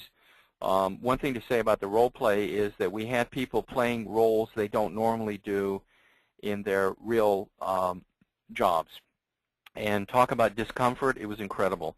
Um, they're used to being, you know, whatever it was they do in their role play, they're used to being replicating what they do in their job, but that we put them in situations in which they had to be the opposite. Um, in one case, for instance, uh, uh, it was um, where a military uh, personnel had took over a facility, and um, they had to deal with the mayor of the town, and they had to deal with the police chief, and um, the police chief was actually treating them like they, you know, like they act.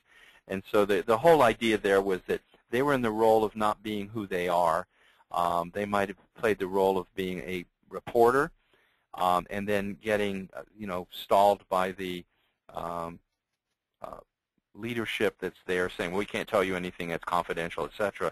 And meanwhile, the, of course, the reporter has to report the news, so they keep pressing and pressing. And, and there were a couple of people actually walked out on the seminar, on the web, um, I'm sorry, on the um, role play because they, they didn't like the pressure. Uh, it embarrassed them. Well, hey, that's the way it goes because that's the way uh, maybe your colleagues acted. Yeah, and, and, the final thing was on-the-job training. I'm, I'm sorry, on-the-job application. Now, here's what we did that was a little bit different than most people do in a course. And a lot of this was my own, uh, you know, experimentation. Um, usually in a project, you present to your classmates, and the classmates ask questions. And um, I said, you know, we need to kick this up a notch. Why don't we, and these are all people who are at a, uh, if you're familiar with the, you know, GS 13, 14, and 15, uh, which would be equivalent to, you know, uh, mid-level and, and upper-level managers in a, in a company, um, why don't we have these people from the intelligence community present to people, it, you know, at high levels, such as the director of the DIA uh, or the National, you know, National, uh, I'm sorry, the um, uh, Geospatial Intelligence, NGA, um, and et cetera. Well, this was almost unheard of, but I, I, I said, why don't we do this? Because the projects might be useful, not just as an academic exercise, but they might be useful to the federal government. These people are very smart. They know the field, and maybe their lead, their senior leadership needs to hear it too. And we pulled it off. We actually had people from all of the agencies who could really make a decision if they heard what they liked. Um, and so that not only kicked it up a notch, but it also gave them a real purpose for doing the project, not just simply to uh, satisfy the requirements of the, of the course. Um, so here's the learning labs. Uh, there were two. Uh, there was a two-day orientation lab and a five-day, uh, two five-day uh, workshops. And in those workshops, I'll show you a little bit about what we were doing in there. Um, we had them discuss what they learned in the in the CBT modules and uh, what they read in the books, because there were several books they had to read. Uh, by the way, this didn't go on every single day for 10 weeks. they might be there for a couple of days, and then they, they'll be reading books, and they'll be watching things, and they'll come back together a little bit later. Um, the Learning Labs, as you can see here, has a, a lot of different things. We have book discussion by DIA uh, instructor. We have a General Accountability Office presenter on flash mentoring. Real quick mentoring, and not it's like flash dating, except that it's or speed dating. I mean, um, so. But here's another government person who's uh, talking about it from an administrative level. Um, Russ Balding talking about the speed of trust, uh, which is a, a he, he, this gentleman is a, uh, a Stephen Covey authorized um, facilitator. the people that are, as I'm going to the right there, McClin, uh, Delaney, and Thomas, the three gentlemen there on the right. Um, John McClin was former Army. Tom Delaney is from the Department of um, Labor. And uh, Solly Thomas was from Office of Personnel Management. they, all they all retired from uh, government service, um, but they, you can see the different perspectives they had, federal agency, regulatory agency, and a military agency, and on and on. And you can see I'm down there in the lower left. Um, as well as another colleague of mine from IBM. Uh, we were facilitators as well as presenters. Um, the simulation was done by the gentleman there, lead sim uh, by John Dentico, also a presenter in my uh, 671 class, and Tom Strong, who uh, over to his left, who was uh, in charge of the CIA Leadership Academy. Um, we originally were going to have like four or five webinars. Um, it, it blossomed in in a way we never thought was going to happen. Not only did we have the scheduled webinars in which people got together, as we're doing tonight, hang a sec, but they said, hey, can we use these webinars to help plan our uh, action projects, the ones I was just talking about that are presented to the uh, senior leadership of agencies. Um, so they, they decided they would use the webinars, and they did um, webinars for project team meetings. You can see there's 12 of those. Um, the four learning sessions. and then we use 10 of them to review um, some of our in-class pro uh, projects. And you can that's on the left side. On the right side, you can actually see when those occurred and, and what, it, what actually occurred. So you see um, the, the, M5 and the S5. The S, um, I'm just coming down like the fourth line there, S-3 team meeting. Um, S is supervisors. Okay, that's the senior level experience guys. And the M is managers. Those are the beginning folks. So you can see it's a smattering of, of everybody. and of course, we, we measured every single thing um, to, uh, without being obnoxious, but every single thing, such as our Harvard Manage Mentor. These are the projects, uh, I'm sorry, these are the CBTs that were assigned to the students. Um, in um, the management cadre cohort. Um, and you can see delegating was the most popular and customer focus was probably the least, and I'm not saying it's popular but effective. Um, so we got feedback from them on how on the value of what they what they they saw there. Okay, so this gave us an, a, a lot of data to understand what we need to do when we revise it, uh, what to include, what not to include, uh, based on their usefulness, the most useful and the least useful. We did that, and by the way, this briefing is about 40, 40 slides. I'm not going through 40 slides, but you can see this is a smattering of what we did. Now, if, if you recall, what I originally talked about was Harvard Manage Mentor is the one that's in a turquoise. The Joint Intelligence Virtual University is the yellow. Books, various books, some of which you saw there, uh, Speed of Trust and others. Films, and the project. And now you can see in just one little screen capture or one little uh, uh, um, uh, diagram um, where they felt the most value was for them, relevance of courses to their job. And of course, Harvard Management are one. The next um, that was a little stronger was the, were the books and the films. And this is prior to them actually doing the delivery of the project. This is when they did the project, but had not gotten feedback from their senior management. Um, it also showed them that the government CBTs, the, the uh, JIVU, um, was about half as effective in their minds as uh, some of the others. Those folks who were doing strongly agree. but you can see that um, it was still, the agree was probably um, the best measure there. Um, and you found very few people disagreed with anything that we did. So we felt really good on a first shot, first time out doing that. Um, so that that was kind of an idea how to do a pilot.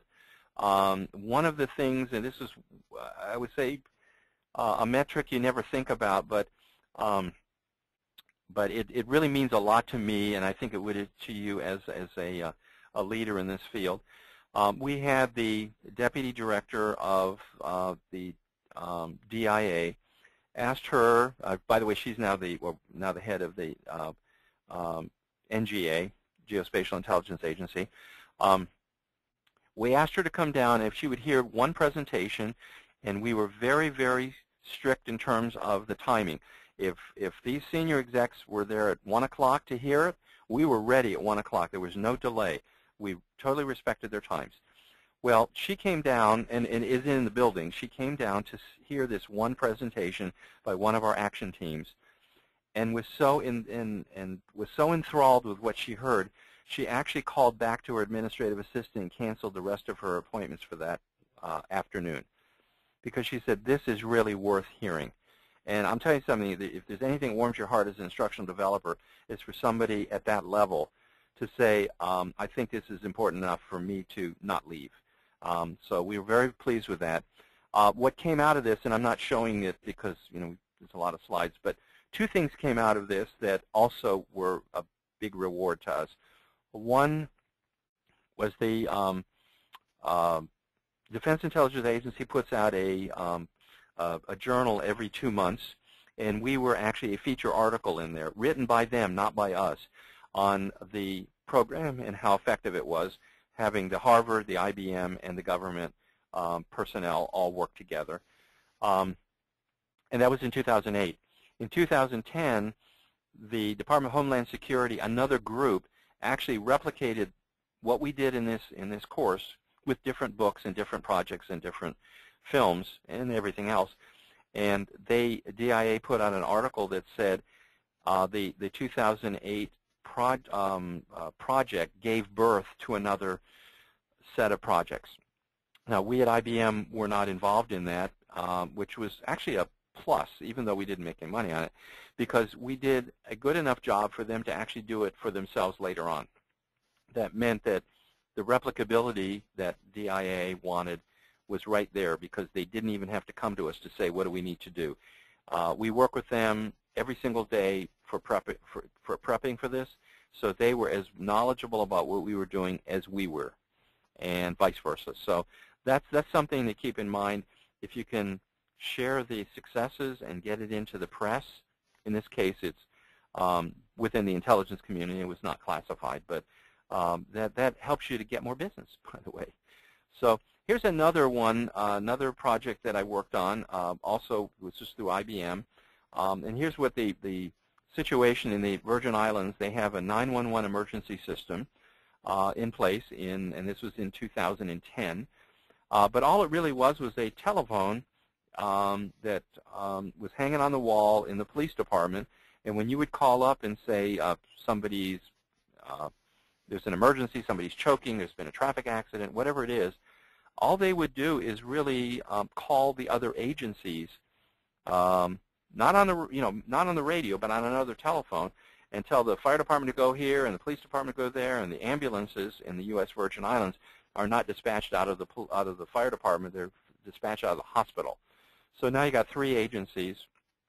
Well, that's very inefficient. But the major problem was that nobody that was answering the phone was qualified to give advice on the phone like we do here, uh, such as I'll stay on the phone and I'll help you through this emergency.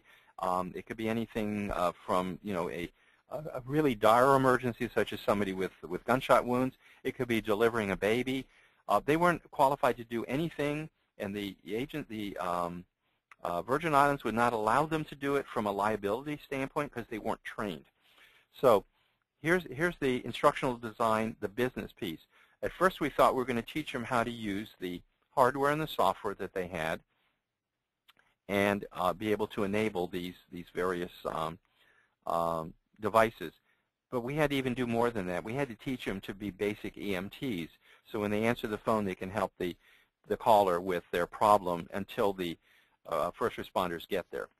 Um, so the project team, this is just, just to show you the wiring diagram, we had to coordinate the police department, property and procurement, which are the people who are actually running the, um, the um, um, equipment that, that supports the 911 folks. Uh, the BIT is the IT folks. So now they, you know, there's a lot of um, installation of equipment. The Department of Health, so they people could be certified to give advice. The fire department, or they call it the fire services, the EMS. And then the last one over there, you see this is in the center row, VITEMA. That's equivalent to, to FEMA. It's the Virgin Island Territorial Emergency Management Agency. So now we have to do is we have to get all these people who are our clients on board with what we're doing. And we got to do it at the price we said we were going to do. So that kind of shows you how many lines of communication that we had to do. Now, if you go to the top row, you'll see on the on the front uh, Jean uh, uh, Griot, Director of Communications, works directly for the governor. And this project was actually one of the governor's three promises to the Virgin Islands on how he was going to make it better. And so we better darn well do a good job because our boss is the Deputy Chief of Staff for the Governor. So you got all this tension um, as well as trying to do a good job. And we had to report out um, on a biweekly basis for almost 11 months on how we're doing because it was the governor and the deputy and the uh, lieutenant governor who were our audience. Um, they were nice people, but you know, still they are the governor and the lieutenant governor. Um, and so our project team was built around those same areas that you just saw there. Um, we had, of course, the, the requisite, um, you know, VPs and everything from the company uh, that I was working for, but their their counterparts are right next to them. So we have an executive sponsor, and then we have the uh, uh, the U.S. Virgin Island executive sponsor, the governor's uh, deputy chief of staff. We had a project manager um, on our side, and then you go to the right, the BIT deputy director. That was his counterpart, et cetera. And then the typical things. We had project management uh, going on the bottom row there. Organizational change was a big piece. And here's the reason, because most people didn't trust 911. They figured, why the heck should I call a, a telephone number so they can call another telephone number? Well, the problem was is that they'd have to call the fire department, the police department, and they have to make the judgment as to what they should do. Um, so how do you get adults who are so used to not calling 911 to start calling 911? Um, they are adults. Um, they uh, are not those who are going to, they're not going to be um, maybe as cooperative as you'd like them to be, and they also are biased as uh, against the system that doesn't work. Um, so they do the best they can to help themselves by not cooperating. Okay, so here's what we did. We decided that the, the bias, there are no bias, typically no biases in kids. So we actually developed a coloring book about 911, and we, we gave presentations to the elementary and the middle school and the high school kids on what is 911 based on what we know here to be stateside. And then we had the First Lady of the Virgin Islands, the governor's wife, at an agricultural fair pass out these coloring books. And so we actually worked through the kids to get their parents to do this. And the, the deal was they had to write down their phone number, they had to write down their name and their location. And here's the, another problem. There are no addresses in most of the Virgin Islands. It's all descriptive. So what happens is you go to the third intersection, you go up to where the yellow house is, and then you turn right, and then you turn left to the green house because there's no street names. So if you paint your house, you have to tell the police department because that's the only way they can find you, is by that descriptive narrative rather than 123 Main Street. They don't have that. They do in the tourist area, but not in the in the in, in, in the community at large. So um, we came up from an organizational change management place. We did two things. One is we got them to use 911 by having their kids teach their parents how to do it uh, because they would, just like we do in the States, they put all these things on the refrigerator with magnets, you know, and it had all the information about what you do with 911. The second thing is the one thing that doesn't move in the Virgin Islands are telephone poles. I'm, I'm not telephones, electric poles, because most of them use um, um, uh, cell phones. Rather than stringing lines all up and down the, the road, it's the electric, um, the electricity, uh, or you know, the power company.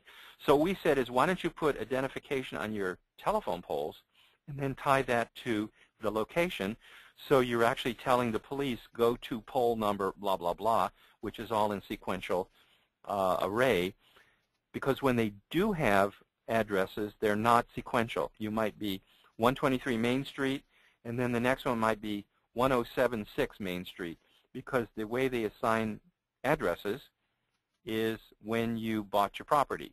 So it's not it's not addressing like we do. It's actually tied to when you got a deed. Well, as you can see, it's very confusing. So once again, organizational change management, we help them to standardize locations so that the police, the fire, the ambulance, et cetera, could find them. That was their or the org change person. IT person did the IT things, which are pretty typical. And I had to train people how to be basic EMTs. I'm not one, but I had to um, contract with the organization that does that. Um, and here's the plus and minuses of that.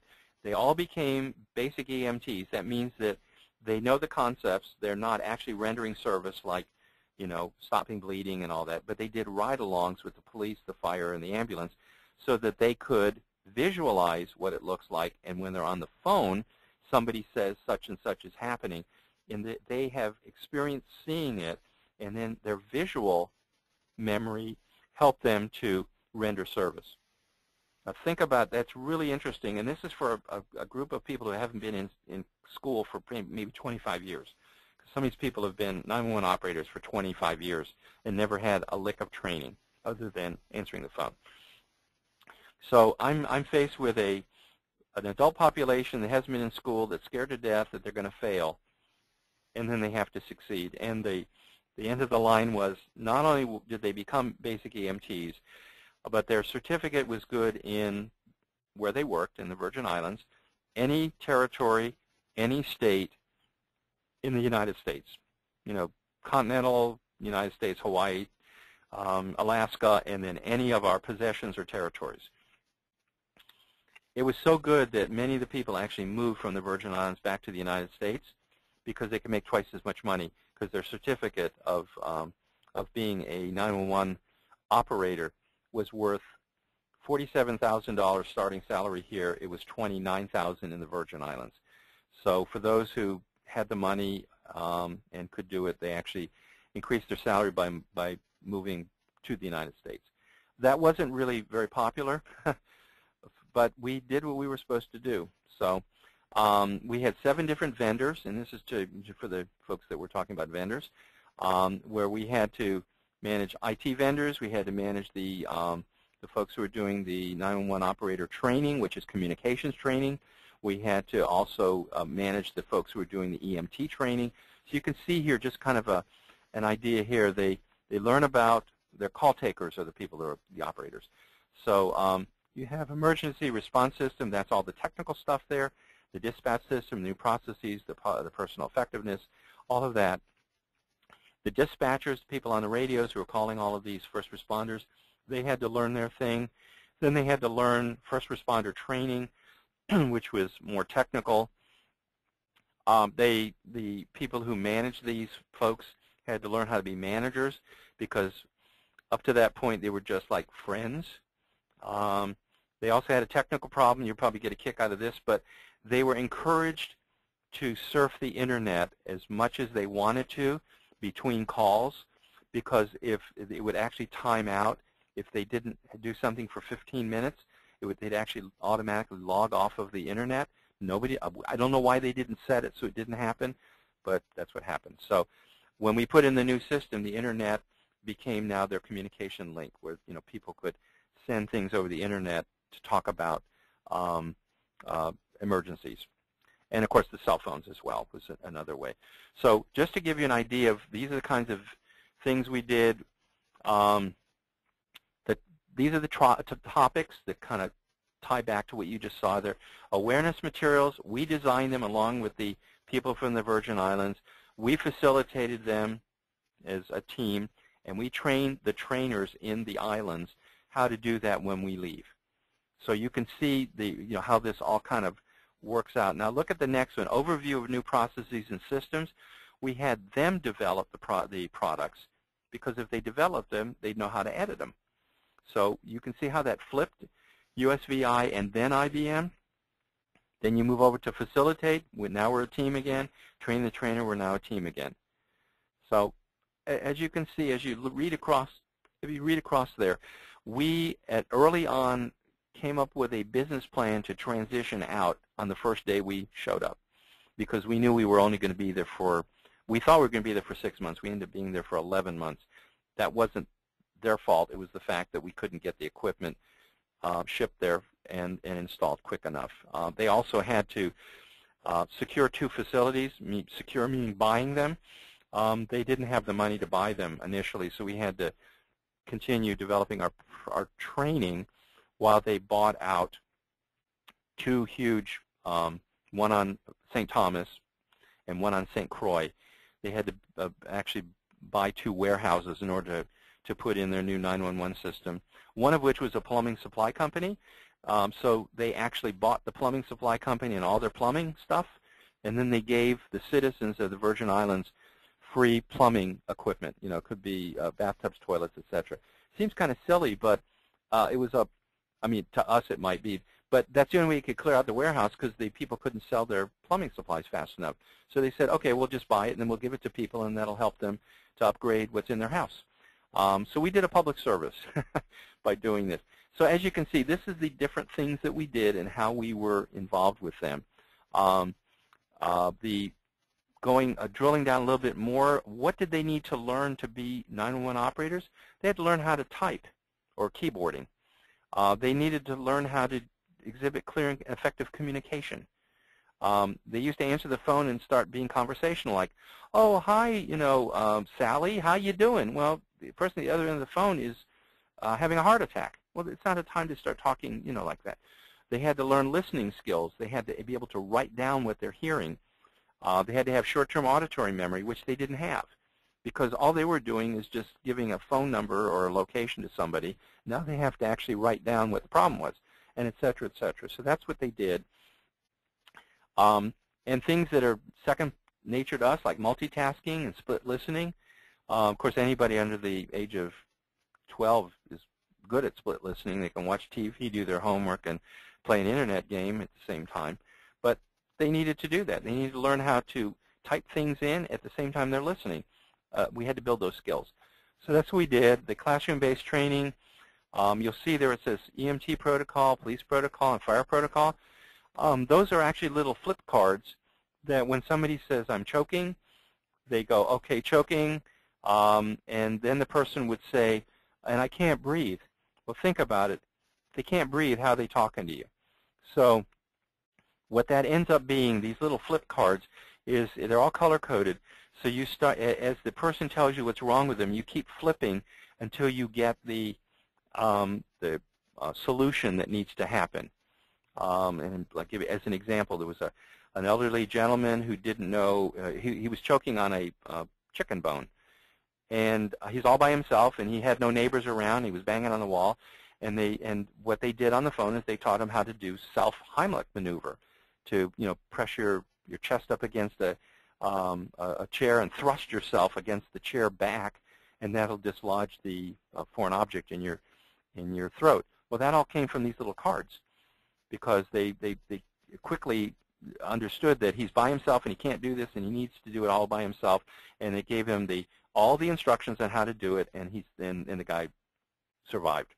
So you know, it saved a life just reading those little cards. So that basically kind of gives you an idea of it's much more than theory and it's much more than process. Um, it's actually um, using a lot of imagination and doing things you never learned in college uh, or in this program, but uh, just using you know your your uh, if you will common sense and, and and your own adult experience to do that. So that's what I wanted to cover. Um, and I know, let's see where we are on the time. How can I help? Um, I, I, I, know I tried to cover a lot of the um, examples uh, or a lot of the questions you had here. Um, what what is our time frame, um, Dr. Williams? Um, Uh, 20 minutes left. we Okay, stop at we stop at nine o'clock. It's uh, I have eight forty four. Okay, would you like me to just go through the questions? What would what would you all like me to do? Um, oh yeah, thank you. I see amazing story, great selling to the kids. Yes, and um, that's the only, and it worked very well. Um, we actually got a commendation from the governor. Um, uh, the other thing too that's kind of interesting, just to kind of give you a little bit of background, the and why it worked well too. The governor's wife uh, was an elementary school teacher at one time before she became um, the wife. Of, well, she was the wife of the governor, but when he got elected, then of course she's in a different, different kind of uh, career path. So um, she knew how to deal with kids because she dealt with kids, and that's one of the reasons we did that. Um, would you like me to just go through? I've, I've highlighted some of the ones um, that I thought I could answer on the phone. I promise you I will give you emails on what makes a solid pract a performance practitioner, um, what are the organizations, groups, and forums. You saw some of those on the screen. Now these are from Walter. Um, uh, what is the what is your take on the future of HPI consulting practice? Uh, increase, decline, or stay the same? Increase. And I'll tell you what the trend is now. Training is not a standalone profession. It's it's now tied in with what they call performance management, talent management, um, whatever they call it. They they tend to link that with um, with HR. So that's a very important you know area there. Um, there was one couple of questions on small business. Um, how do you get into small business, and what's the greatest challenge? One of them is money. Uh, but the other thing is make sure you have a business plan, not just a vision. Um, write it up, whether you're going to do this or not. Write it up as if you're going to go to a banker and you're going to convince the banker to lend you money.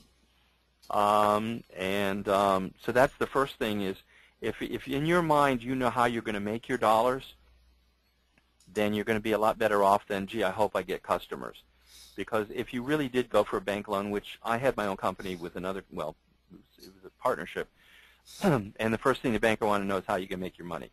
And we were prepared. We told them exactly. Rather than, well, we'd like to get some money from you and then we'll figure it out, it wouldn't get a loan because they want to know that you know what you're talking about. there, are, there are professional associations such as ASTD that can help you with that.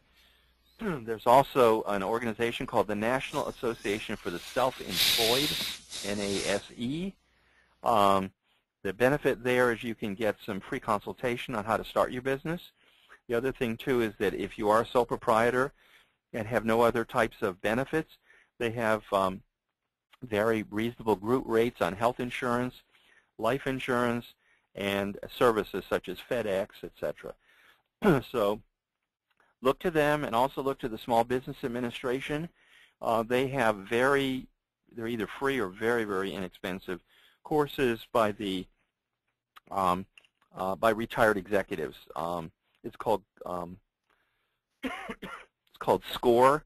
It's the Society. Uh, I'm sorry, the Service Corps of Retired Executives. So people who have done this before will be more than happy to help you learn how to do it as well. So that's, I think, an important uh, thing that you need to do. Um, if I may, let's see. Um, a lot of questions were, what do you do if you don't have a lot of experience? Uh, and people are always asking for three to five years experience, even though you've just become a, um, a graduate of our program. Um, I, if you haven't done so already, and I don't know where you are in the in the program, but I assume you're much further along than than a beginner. Um, is I always say do real projects, not hypothetical ones, and most people seem to be doing that because you can use that as a reference. You know, I developed a training program for a not-for-profit organization to help them with their volunteers. Uh, one of the students in my uh, first class I taught, the 671, uh, developed an adult literacy program for the Howard County library system. They had adult literacy, but they didn't really have a training program for that was replicable, and so that's what she did. so the, the, my thinking is be creative and talk about the things you've done in classes as, if they were projects you got paid for because whether you get paid or not, it's still the same experience, um, hopefully. So that's what I would say. It is very difficult to break in. Um, one of the many of the questions were about resumes. Um, I've kind of got a bias against that now because most resumes are read electronically. You don't even know if a human's seen it, literally. Um, it may be scanned and it doesn't pass whatever the algorithm is, and, and a, a live uh, recruiter may never see your resume. You need to join professional associations. You need to network, network, network. Um, you need to do presentations if you can. If um, you can co-present with somebody, that's even better. I offer my students, I'll be happy to co-present with them at a conference.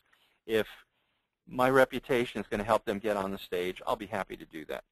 But the way to get a job now is to know somebody and use your internship as that venue. Go to ASTD, ISPI, and any of the other meetings that are local, and and and um, you know socialize with people and let them know who you are. Uh, volunteer to be on their leadership committees. Might be membership, might be program. Um, just get to meet a whole lot of people. That's the only. That's the best way to get a job nowadays. I don't. I don't think that the uh, pretty resume, which is you know formatted. Every, anybody even looks at it. It's, it's, all the formatting, it, formatting is stripped out and sent to a computer that doesn't even know who the heck you are. Um, as far as resources, um, I listed some of them there. Uh, get to know those associations. Get to know their research, especially if it's free, and quote it a lot. Um, get get used to giving advice that's data-based rather than opinion. And if you can say, as, as I say almost every day that I work here, uh, 4,000 people in a study in you know 2013 said that instructor-led training constitutes 59% of all the training delivery in the United States. And that's a, that's a real number. I gave it today. So when people say, what do you think about ILT? Is it dying or not? and you go, well, yeah, I think it isn't, but you know, I don't really know why I'm saying that. Get the research and try and stay up on it. And I, by the way, and it's because I teach. Um, I, I, I spend about an hour to two hours every single day reading in my field so that I'm kind of, you know, up on it. Um, so that I think is important. Um, do those free webinars. Um, after a while, you'll get to know who the thought leaders are and reach out to them. They're usually very nice people who'll be happy to help you in making linkage. And in, in that sense, too, get on LinkedIn because LinkedIn is now being used extensively by recruiters to find people. Um, so that's it's kind of what that um, ends up being. I'm watching the time here. Um, a couple of questions were, uh, what additional certifications do you need? Um, CPLP is, is gaining in um, uh, in prominence. Um, I don't think it's a substitute for a master's program. I think it's, it's a lot of verbal learning and knowledge, plus you also uh, provide a project. So um, if you go for an interview and a lot of, I see a lot of job announcements say CPLP preferred, um, they, they recognize the fact that a master's degree is uh, somewhat superior to that. But, um, but if you want to continue your education, which goes beyond what that you're learning in the class, especially if you're doing a certificate and not going for a master's degree, I, I, I do the I consider the CPLP because it is a credential that people know. Uh, for those of you who know the project management side, there's the PMP.